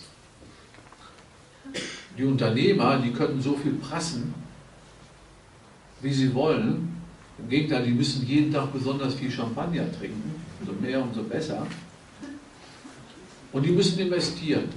Dann wird ihr Profit immer größer. Das ist der Krug, der unerschöpflich ist, wie der Krug der Witwe. Das gilt aber nicht für die Lohnfunktion. Leider nicht. Wenn nämlich die Abhängigen aus ihrem Lohn, aus ihrem Arbeitsentgelt sparen, dann hängen sie sich am nächsten Baum noch selbst auf. Weil dann fällt Nachfrage aus. Dann fällt Nachfrage aus. Durch ihr Sparen, also üben die Abhängigen Konsumverzicht, hängen sich die Abhängigen Kapitalismus selbst auf. Die Kapitalisten machen, äh, da gilt diese Gesetzmäßigkeit nicht. Weil sie auch viel zu wenige sind. Ihr Kapitalistenkonsum in Relation zum Massenkonsum ist auf Liegenschiss. Aber das Entscheidende ist die Investitionsfunktion. Wenn Sie da in einen Investitionsattentismus übergehen, dann hängen Sie alle auf. Und wer hat das Sagen über die Investitionsfunktion? Nur der Unternehmer, nur die Shareholder, nur die Eigentümer. Das haben wir bitter, also so in spektakulären Fällen erfahren. Wir bei uns in Bochum, Nokia, da sagen die über Nacht, diese Fabrik hier in Bochum, 1500 Beschäftigte, die machen wir zu. Wir gehen nach Rumänien. Weil wir haben hier mal in die Bücher geguckt. Da stellen wir eine Profitrate fest von 15 Prozent hier in Bochum. Die ist für uns unerträglich. Wir kriegen in Rumänien eine von 30. Also machen wir in Bochum eine Desinvestition und gehen nach Rumänien. Sonst noch eine Frage? Ja, können die daran rechtlich gehindert werden? Können die daran rechtlich gehindert werden? Nein, können sie nicht. Verfassungsrechtlich garantiert durch zwei Artikel. 14 und 12. 12 wird übrigens immer vergessen. 12 ist Berufsfreiheit, da leitet jeder Verfassungsrechtler die unternehmerische Freiheit ab.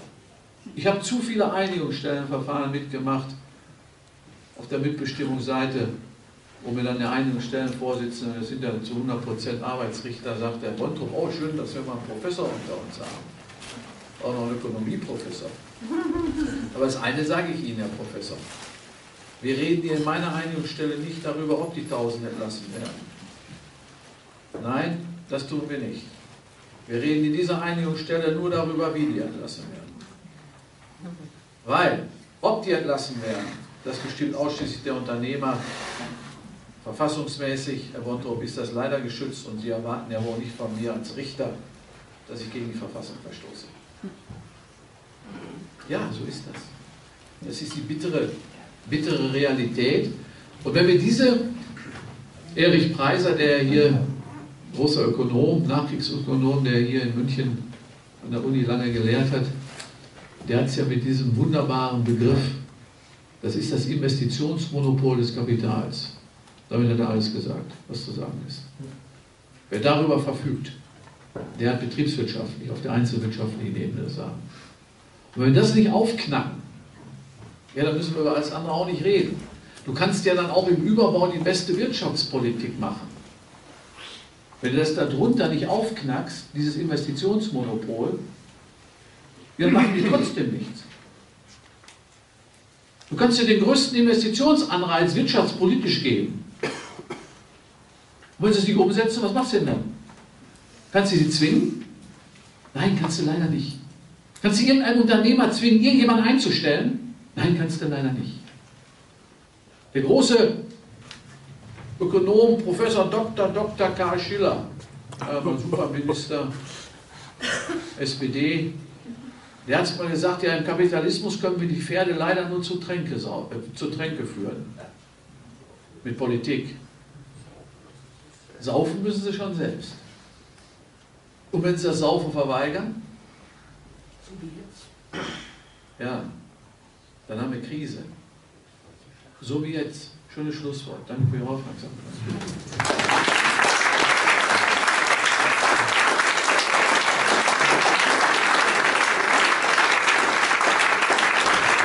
Ich würde Sie herzlich bitten, die Reformen der Demokratisierung etwas auszuführen, weil wenn man sie ernst nimmt, müssen wir also erstens die Kapitalmacht brechen, das Ausbeutungsverhältnis überwinden. Das finde ich alles sehr wichtig. Und das Stichwort Wirtschaftsdemokratie, wenn Sie das etwas ausführen würden, es kann meines Erachtens ja nur eine neue Form von gesellschaftlichem Planen sein. Es müssen sehr beherzte Eingriffe sein. Und ich würde da gerne meine Vorstellungskraft etwas schulen, wenn Sie das bitte etwas ausführen, weil wir sind ja gestern auch auf dem Stand des Denkens gewesen, dass wir das Ausbeutungsverhältnis auch die gesamte Wertschöpfungskette betreffend überwinden müssen, also auch ganzheitlich an die Welt denken, wo wir immer alles externalisieren, so hieß es gestern. Die Frage könnte man vielleicht ergänzen zum Thema Externalisierung. Wir haben ja, äh, wir sind Exportweltmeister, da ist sozusagen der Faktor der Externalisierung, kann, kann das auch im Kontext des Stabilisierungsgesetzes von 67, äh, das ja auf dem magischen Viereck beruht, äh, kann das dabei etwas bewirken. Es wird uns immer erklärt, äh, es ist quasi auch eine Quadratur des Kreises mit diesem magischen Viereck und es würde nicht funktionieren. Ich bezweifle das vehement. Man könnte das sehr wohl ausgleichen. Das ist zumindest eine These, vielleicht können Sie dazu was sagen. Das ist ein tagesfüllendes Programm, das zu beantworten. Ähm, also Wirtschaftsdemokratie, ich habe dazu ja einiges äh, veröffentlicht, ein ganz dickes Buch geschrieben. Arbeit, Kapital und Staat, Plädoyer für eine Gibt's da hinten? demokratisierte Wirtschaft, gibt es sogar zu kaufen, aber schön. Ähm, das, ähm, das kann ich jetzt hier nicht beantworten. Das, äh, dann sitzen wir heute Abend noch. Ich will aber trotzdem ein paar Stichworte dazu sagen. Wirtschaftsdemokratie verlangt einen Dreiklang. Makroebene, Mesoebene, Mikroebene. Das ist erstmal ganz wichtig. Und die sind interdependent, also wechselseitig verknüpft. Das, was ich zum Schluss ausgeführt habe, war nur die Mikroebene.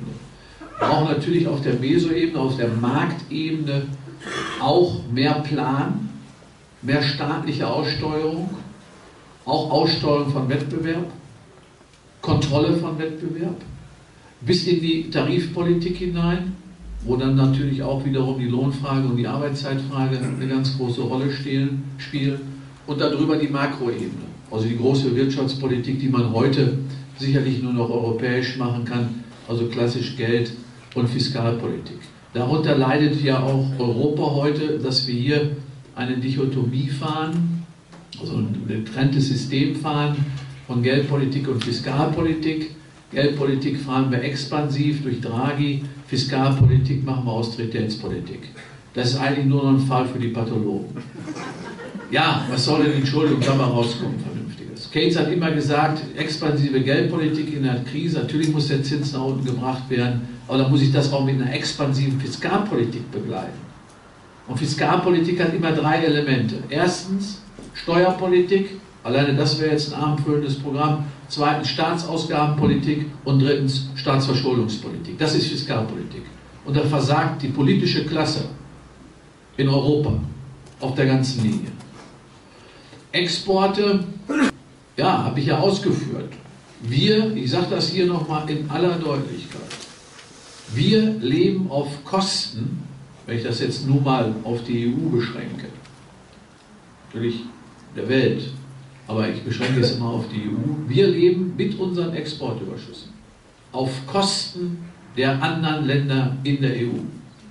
Wir exportieren Arbeitslosigkeit und haben selbst noch Massenarbeitslosigkeit und ein gigantisches aufgebautes Prekariat im Land.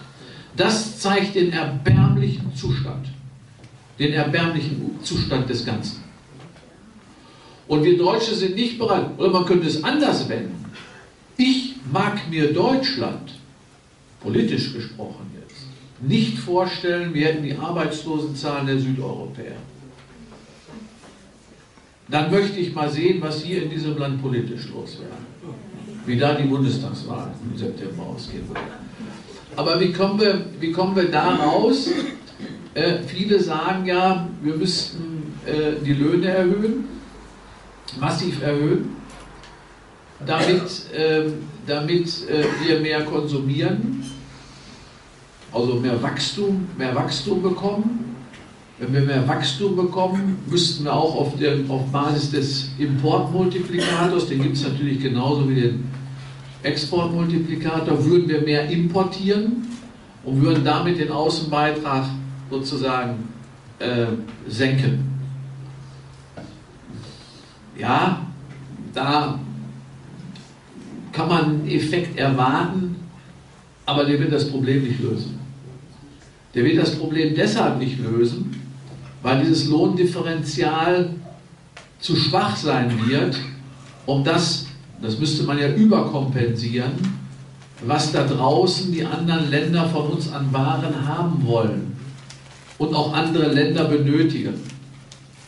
Ja, die Griechen brauchen deutsche Maschinen, die sie selbst nicht produzieren können oder nicht haben. Autos, pharmazeutische äh, Mittel.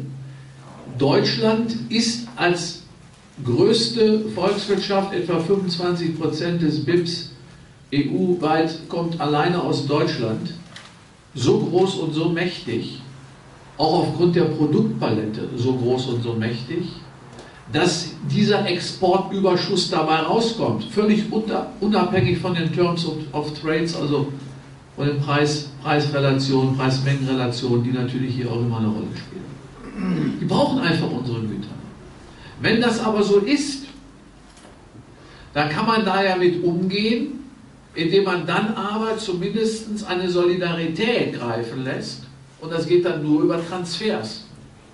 Dass wir dann den anderen Ländern in einer anderen Art und Weise auch helfen, aus ihrer Situation, aus ihrer schlechteren ökonomischen Situation herauszukommen.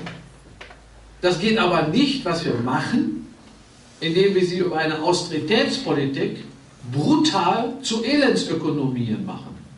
Was letztlich auch wiederum wie ein Bumerang auf uns negativ zurückkommt.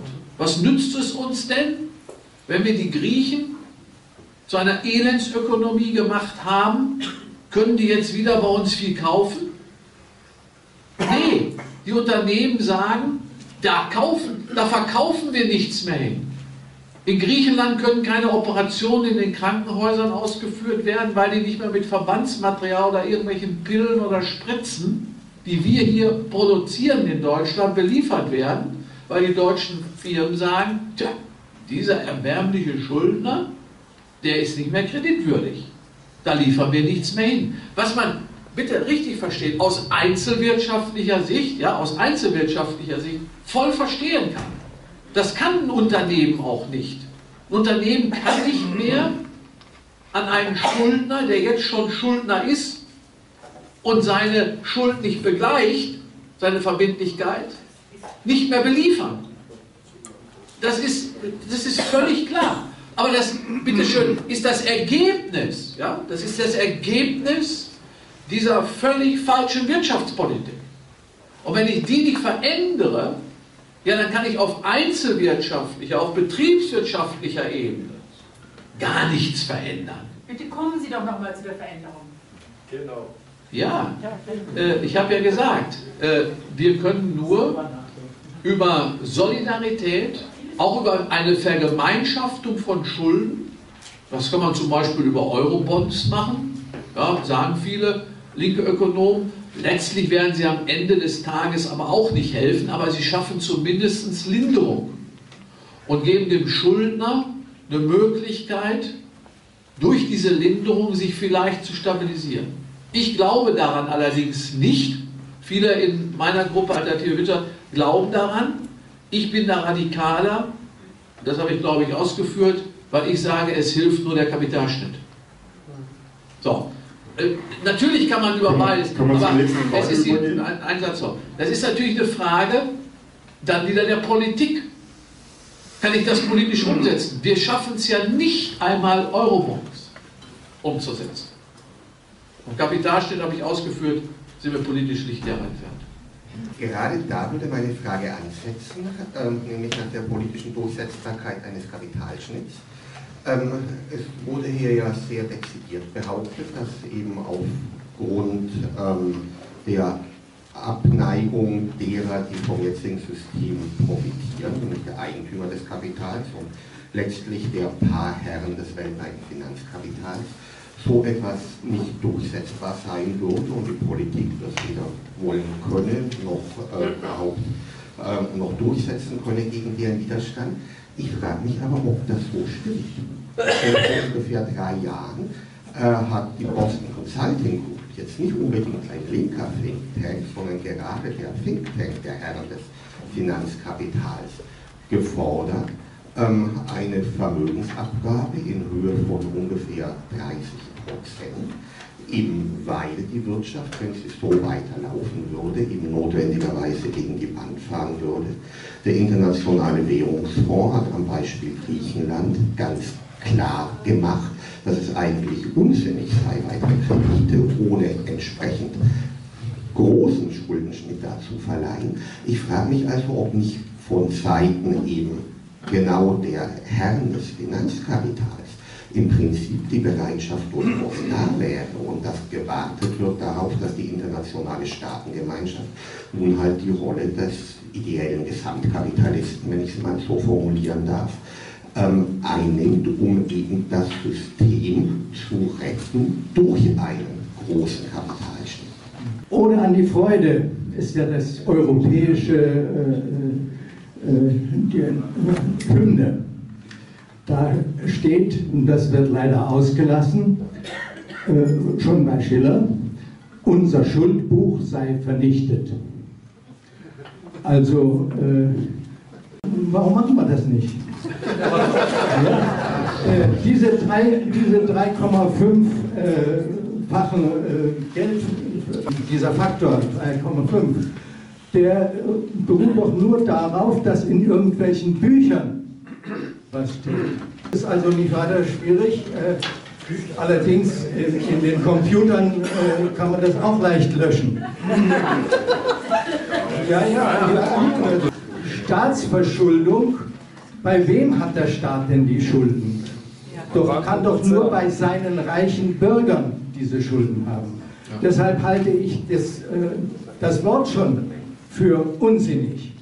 Der Staat hat nichts zu verschulden, sondern er hat das Geld zu schaffen, das Geld zu schöpfen. Und das ist jetzt meine Frage. Warum sind Sie darauf äh, gar nicht gekommen oder, oder warum haben Sie davon nicht gesprochen? Es muss die Geldschöpfung, es muss die Geldschöpfung in staatliche Hand wiederkommen. Das, das, ist der Punkt, wenn sich der Staat aus privater Geldschöpfung bedient, dann verschuldet er sich vollkommen unnötig. IWF und Boston Consulting, dem bin ich ja sehr dankbar. Lagarde, die ja auch da dies fordert. Ja, aber äh, das bestätigt ja nur meine These. Das sind eben nicht die Geldmächtigen. Das sind nicht die Eigentümer. Die fordern das zwar als, als äh, multinationale Organisation, oder meinetwegen auch hier Boston Consulting, äh, Consulting Gesellschaft, aber das sind ja nicht, das sind ja nicht die Eigentümer, die Shareholder, denen das gehört. So, und die sind die entscheidenden Personen. Die sagen, und, und, und sie sagen, und sie sehen ja auch, sie sehen ja auch, dass sich selbst so ein IWF, so könnte man es ja jetzt auch drehen, dass die so ohnmächtig, dass der IWF so ohnmächtig, im Grunde sehr neoliberal, so ohnmächtig ist, das durchzusetzen, was rational, wie ich ausgeführt habe, ökonomisch völlig in Ordnung geht.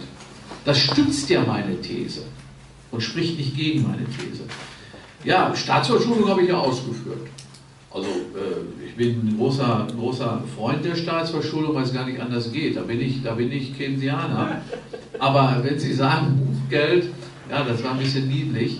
Äh, also mein Kontostand, wenn ich den auch nur als Buchgeld sehe, der beruhigt mich dann schon. Ne? Und wenn ich ein Schreiben bekommen würde von der Bank, äh, Herr Montrup, äh, Ihr Buchgeld, Ihr Kontostand äh, ist nicht mal 5 Millionen, äh, sondern nur noch 4 Millionen, ja, dann könnte ich auch weiter eine warme Suppe jeden Tag essen, ähm, aber dann wäre eine Million weg. So, dann hätte ich große Störgefühle. So, das, das, das ist doch der Punkt. Das ist doch der Punkt, was ich ja auch ausgeführt habe. Dass eben, dass eben die Geldmächtigen, die ja in den letzten 30 Jahren diesen Faktor 3,5 für sich ja, aufgebaut haben, ja, dass die den nicht mehr hergeben wollen. Ein weiser Mann hat mir mal gesagt, Abzug verträgt kein Hund. Ja, so ist das. Meine Und die Frage war Staats- nach der Geldschöpfung. Ja, Geldschöpfung machen wir ja zurzeit wie verrückt. Was Macht, war, macht, was war mit dem Hund? Abzug verträgt kein Hund. Ja, so, äh, das machen wir ja, die Gelder. Der, der Draghi macht ja nichts anderes. Der, der pumpt ja, was das Zeug hält, erhöht die Geldmenge. Ähm, das keine inflationären Wirkungen hat. In die ökonomischen Lehrbücher sagen ja, müssen, wir müssen längst eine Inflationsrate zweistellig haben. So was, was die der, haben sie doch bei den Grundstücken. ja, die, genau. Lassen Sie mir eben zu Ende. Die haben wir bei einzelnen Vermögensgütern. Ja? Die haben wir aber nicht. Wir Ökonomen messen ja die Inflationsrate eben über einen großen Warenkorb, da ist alles Mögliche drin. Und dann kennen wir Ökonomen noch die Kerninflationsrate, da, rechnen wir äh, den Dollar, also den, den, den Ölpreis, rechnen wir dann noch raus. So, und der ist ja gerade wieder ein bisschen angezogen. Dann haben wir nach wie vor haben wir eine, Defla haben wir eine Deflation, die hochgradig gefährlich ist. So, aber auf der anderen Seite, das ist ja auch kein Widerspruch, haben wir bei einzelnen Vermögensgütern, wir haben auch an, der, an den Börsen ja, ja äh, äh, eine, eine Inflation. So, und auch auf, auf eigene, ein, einzelne Vermögensgüter, weil die Vermögenden natürlich da drauf gehen müssen. Sie brauchen ja eine Anlage.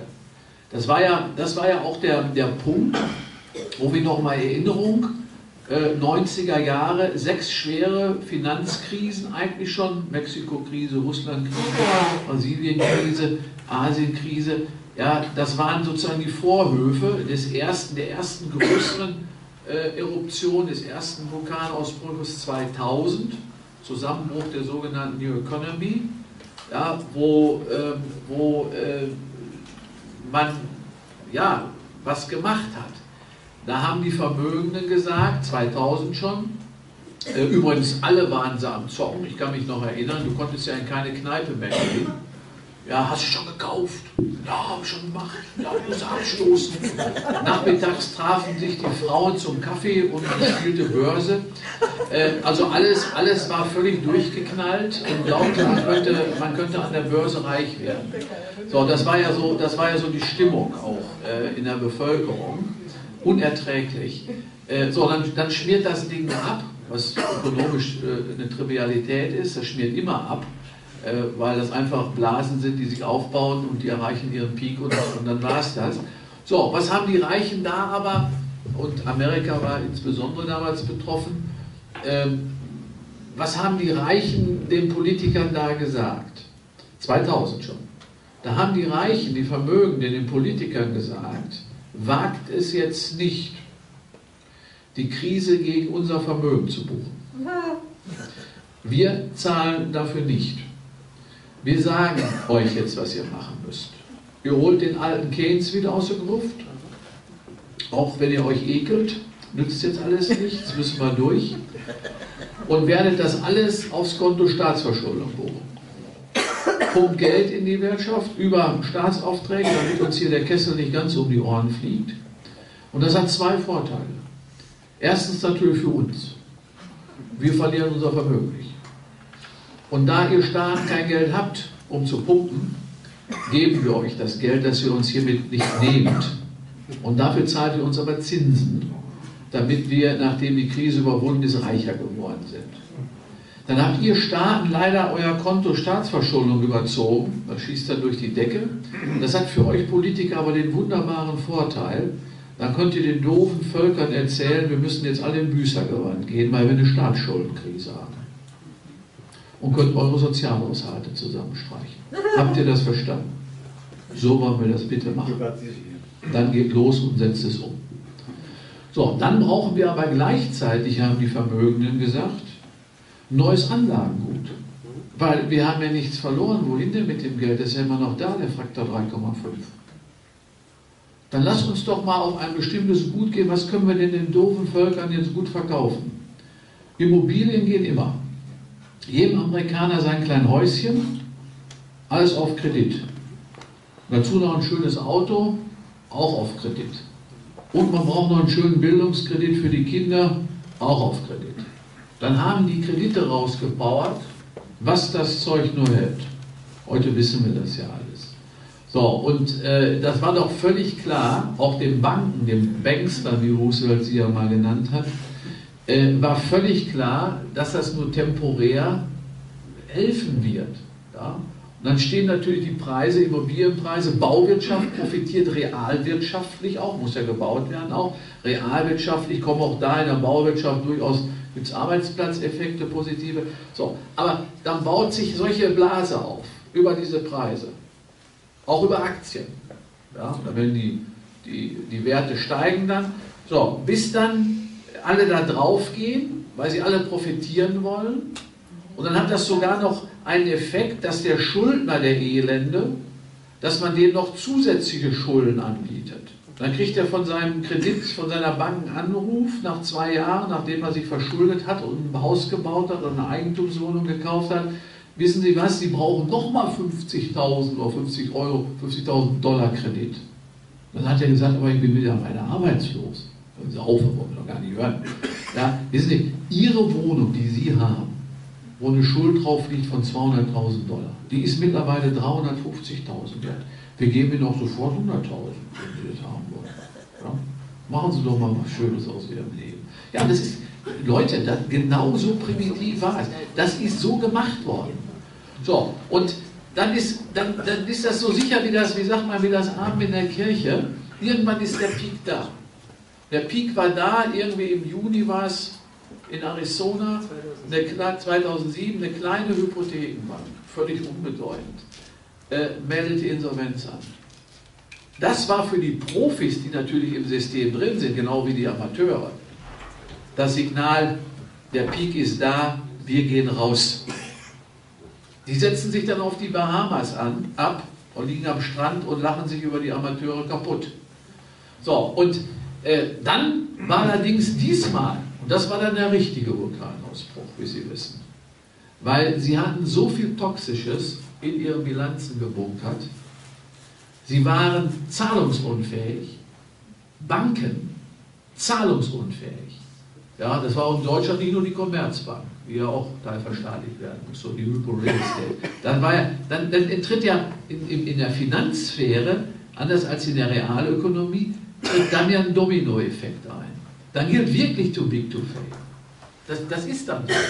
So, und wenn, wenn, wenn dann da nicht geholfen wird und es schlägt ja sozusagen, dann schlägt die Finanzsphäre, schlägt in die reale Ökonomie, also in die produzierende und handelnde Ökonomie hinein.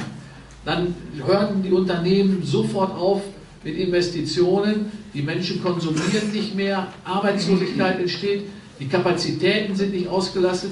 In Deutschland sind zwei heftige Konjunkturprogramme aufgelegt worden. Ja, da hat man dem deutschen Michel gesagt, wenn du ein Schrottauto hast oder ein rostiges, fahr damit zur Schrottpresse, lass dir 2500 Euro auszahlen. Auto war zwar noch 5000 Mark wert, hat er trotzdem eingetauscht.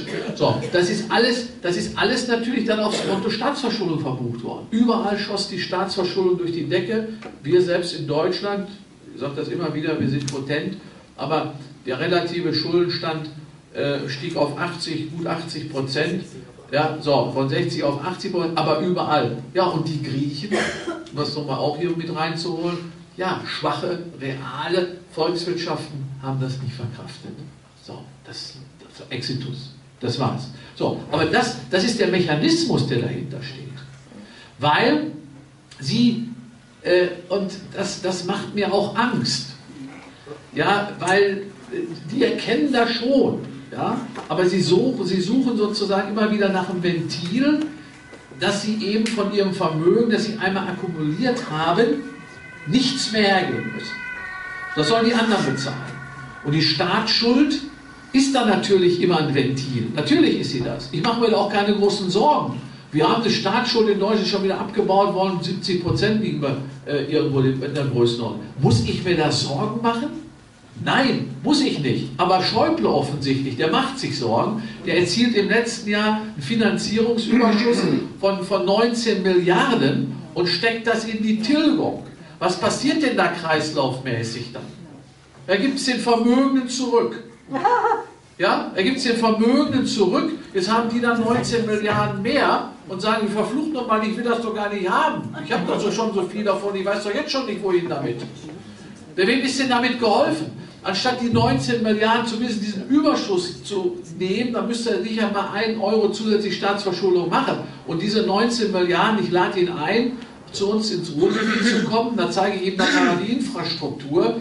Ja, da werden diese 19 Milliarden nur ein Tropfen auf den Stein, um da einigermaßen Schulen zu renovieren und die Straßen. Ja, das hätte Wachstumseffekte. Das würde die örtliche Wirtschaft, die Handwerkerbetriebe und so weiter. Na, macht er aber nicht. So, weil sie dem Wahn verfallen sind, der trägt ja die, diese schwarze Null wie so eine Monstranz vor sich her, ja, und faselt dummes Zeug, dieser Jurist. Ja, die, die, nächsten Generationen können wir mit diesen Schulden nicht belasten. Also so ein Bullshit habe ich als Ökonom wohl noch nie gehört. Wenn wir heute investieren, ja, dann tun wir was für die nächste Generation. Wenn wir heute nicht investieren, dann strafen wir die nächste Generation ab. Und außerdem habe ich mal gelernt, wir vererben ja auch nicht nur die Schulden, weil die Gleichung gilt, Schulden gleich Vermögen. Da wird auf den Cent genau auch das Vermögen vererbt, Herr Schäuble. Erstes Semester. Warum hört er nicht auf Sie?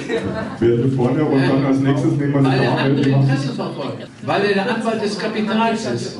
Der Schäuble hat nur einen Auftrag. Zwei, zwei Fragen Den Auftrag, die Vermögenden zu schützen. Deshalb ist er Finanzminister und deshalb sitzt er im Bundestag. Oder welcher Partei gehört er an? Also,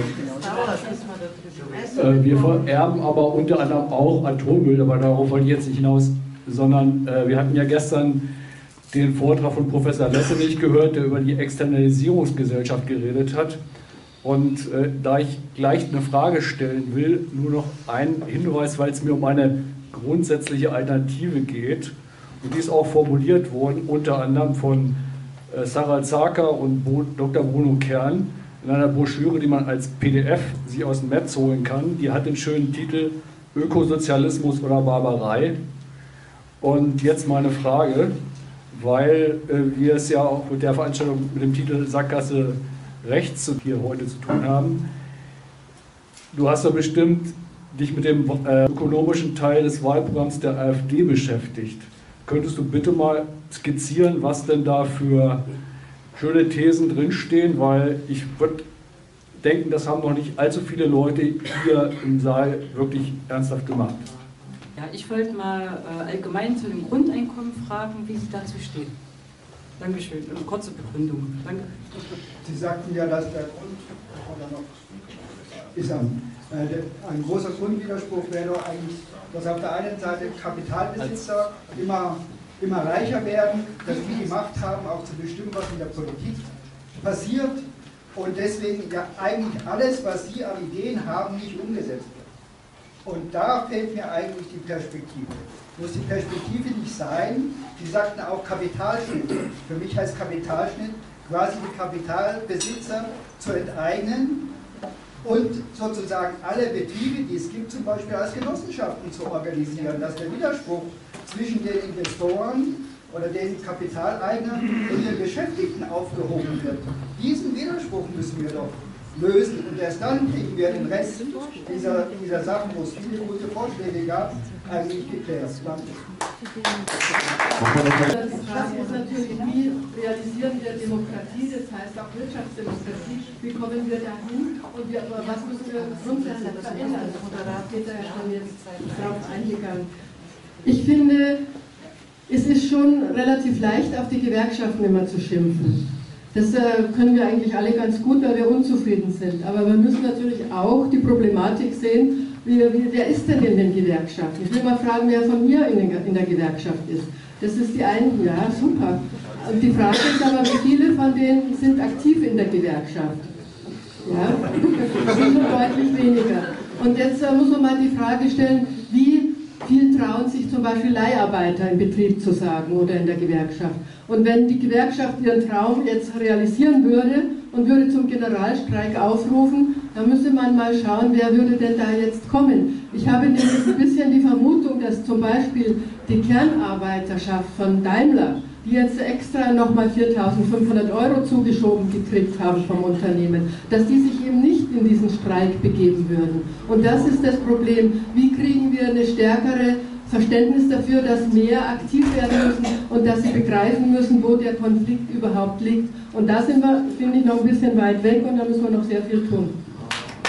Vielleicht können Sie die Antwort insgesamt kurz halten, die Mittagspause ja, stünde schon lange an. mit der letzten, also keiner, ich, ich bin seit 35 Jahren Mitglied der IG Metall. Ähm, das ist kein Werkschaftsbeschimpfen, sondern das ist wissenschaftliche Analyse. So, und äh, in den Gewerkschaftsvorständen, das wird auch mal so getan, das sind ja nicht nur Gutmenschen. Oder das sind die einzigen Gutmenschen. So, und äh, man, muss, man muss auch äh, Kritikfähigkeit äh, an den Tag legen, gerade wenn man, wenn man Vorstandsmitglied in einer Gewerkschaft ist und sich selbst auch fragen, ob die, ob, ob, die, ob, die, ob die Richtung, ob die noch stimmt. So, und sie stimmt nicht aus meiner Sicht, das sage ich als Wissenschaftler und auch als IG Metall-Mitglied, ähm, da muss ein anderer Zungenschlag, da muss ein anderes Denken her. Dass das schwierig ist, ist ja klar.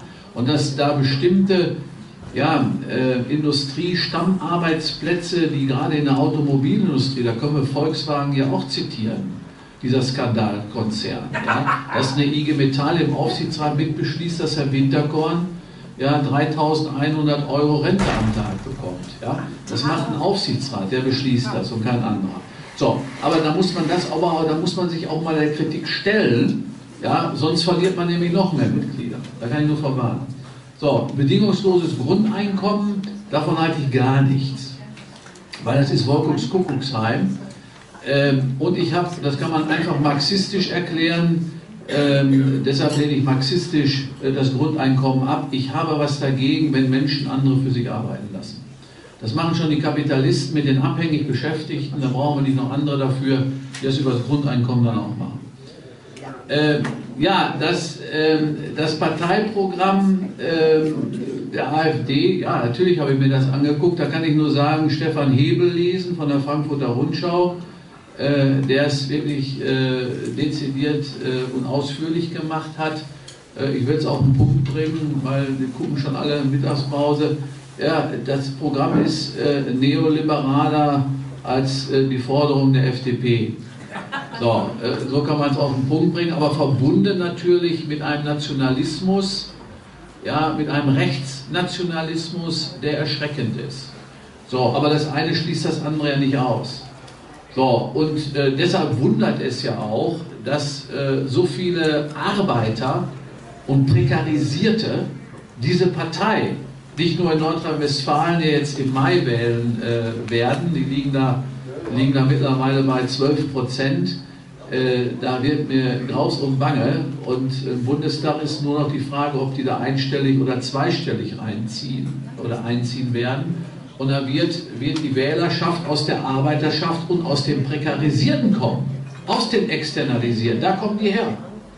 Da packt man sich doch nur nach den Kopf. Zu welchem Befund muss ich denn da kommen? Haben die keinen Kopf?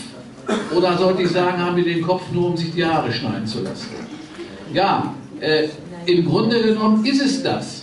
Ja, aber dann schließt sich wieder der Kreis zu meinen Ausführungen zu Beginn. Nein, die Menschen haben Angst. Die haben Angst und gucken nach unten und suchen da ihr Heil. Sie werden es aber leider da nicht finden, sondern sie werden da im Ergebnis, wenn es denn alles so kommen sollte, brutal, brutal abgestraft werden. Ein Punkt noch, ja, die Wortmeldung, äh,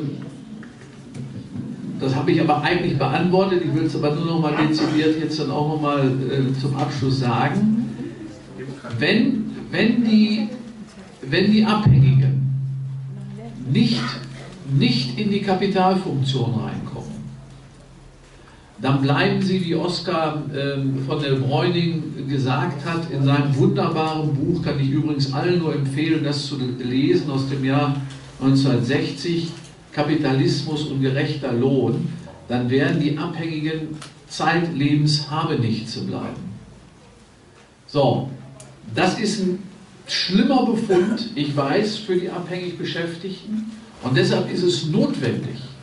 Und Oskar von der Bräuning hat das in den 60er Jahren schon geschrieben und gefordert. Ich habe das nochmal in in meinen Büchern nochmal aufgenommen, nochmal in Erinnerung gerufen.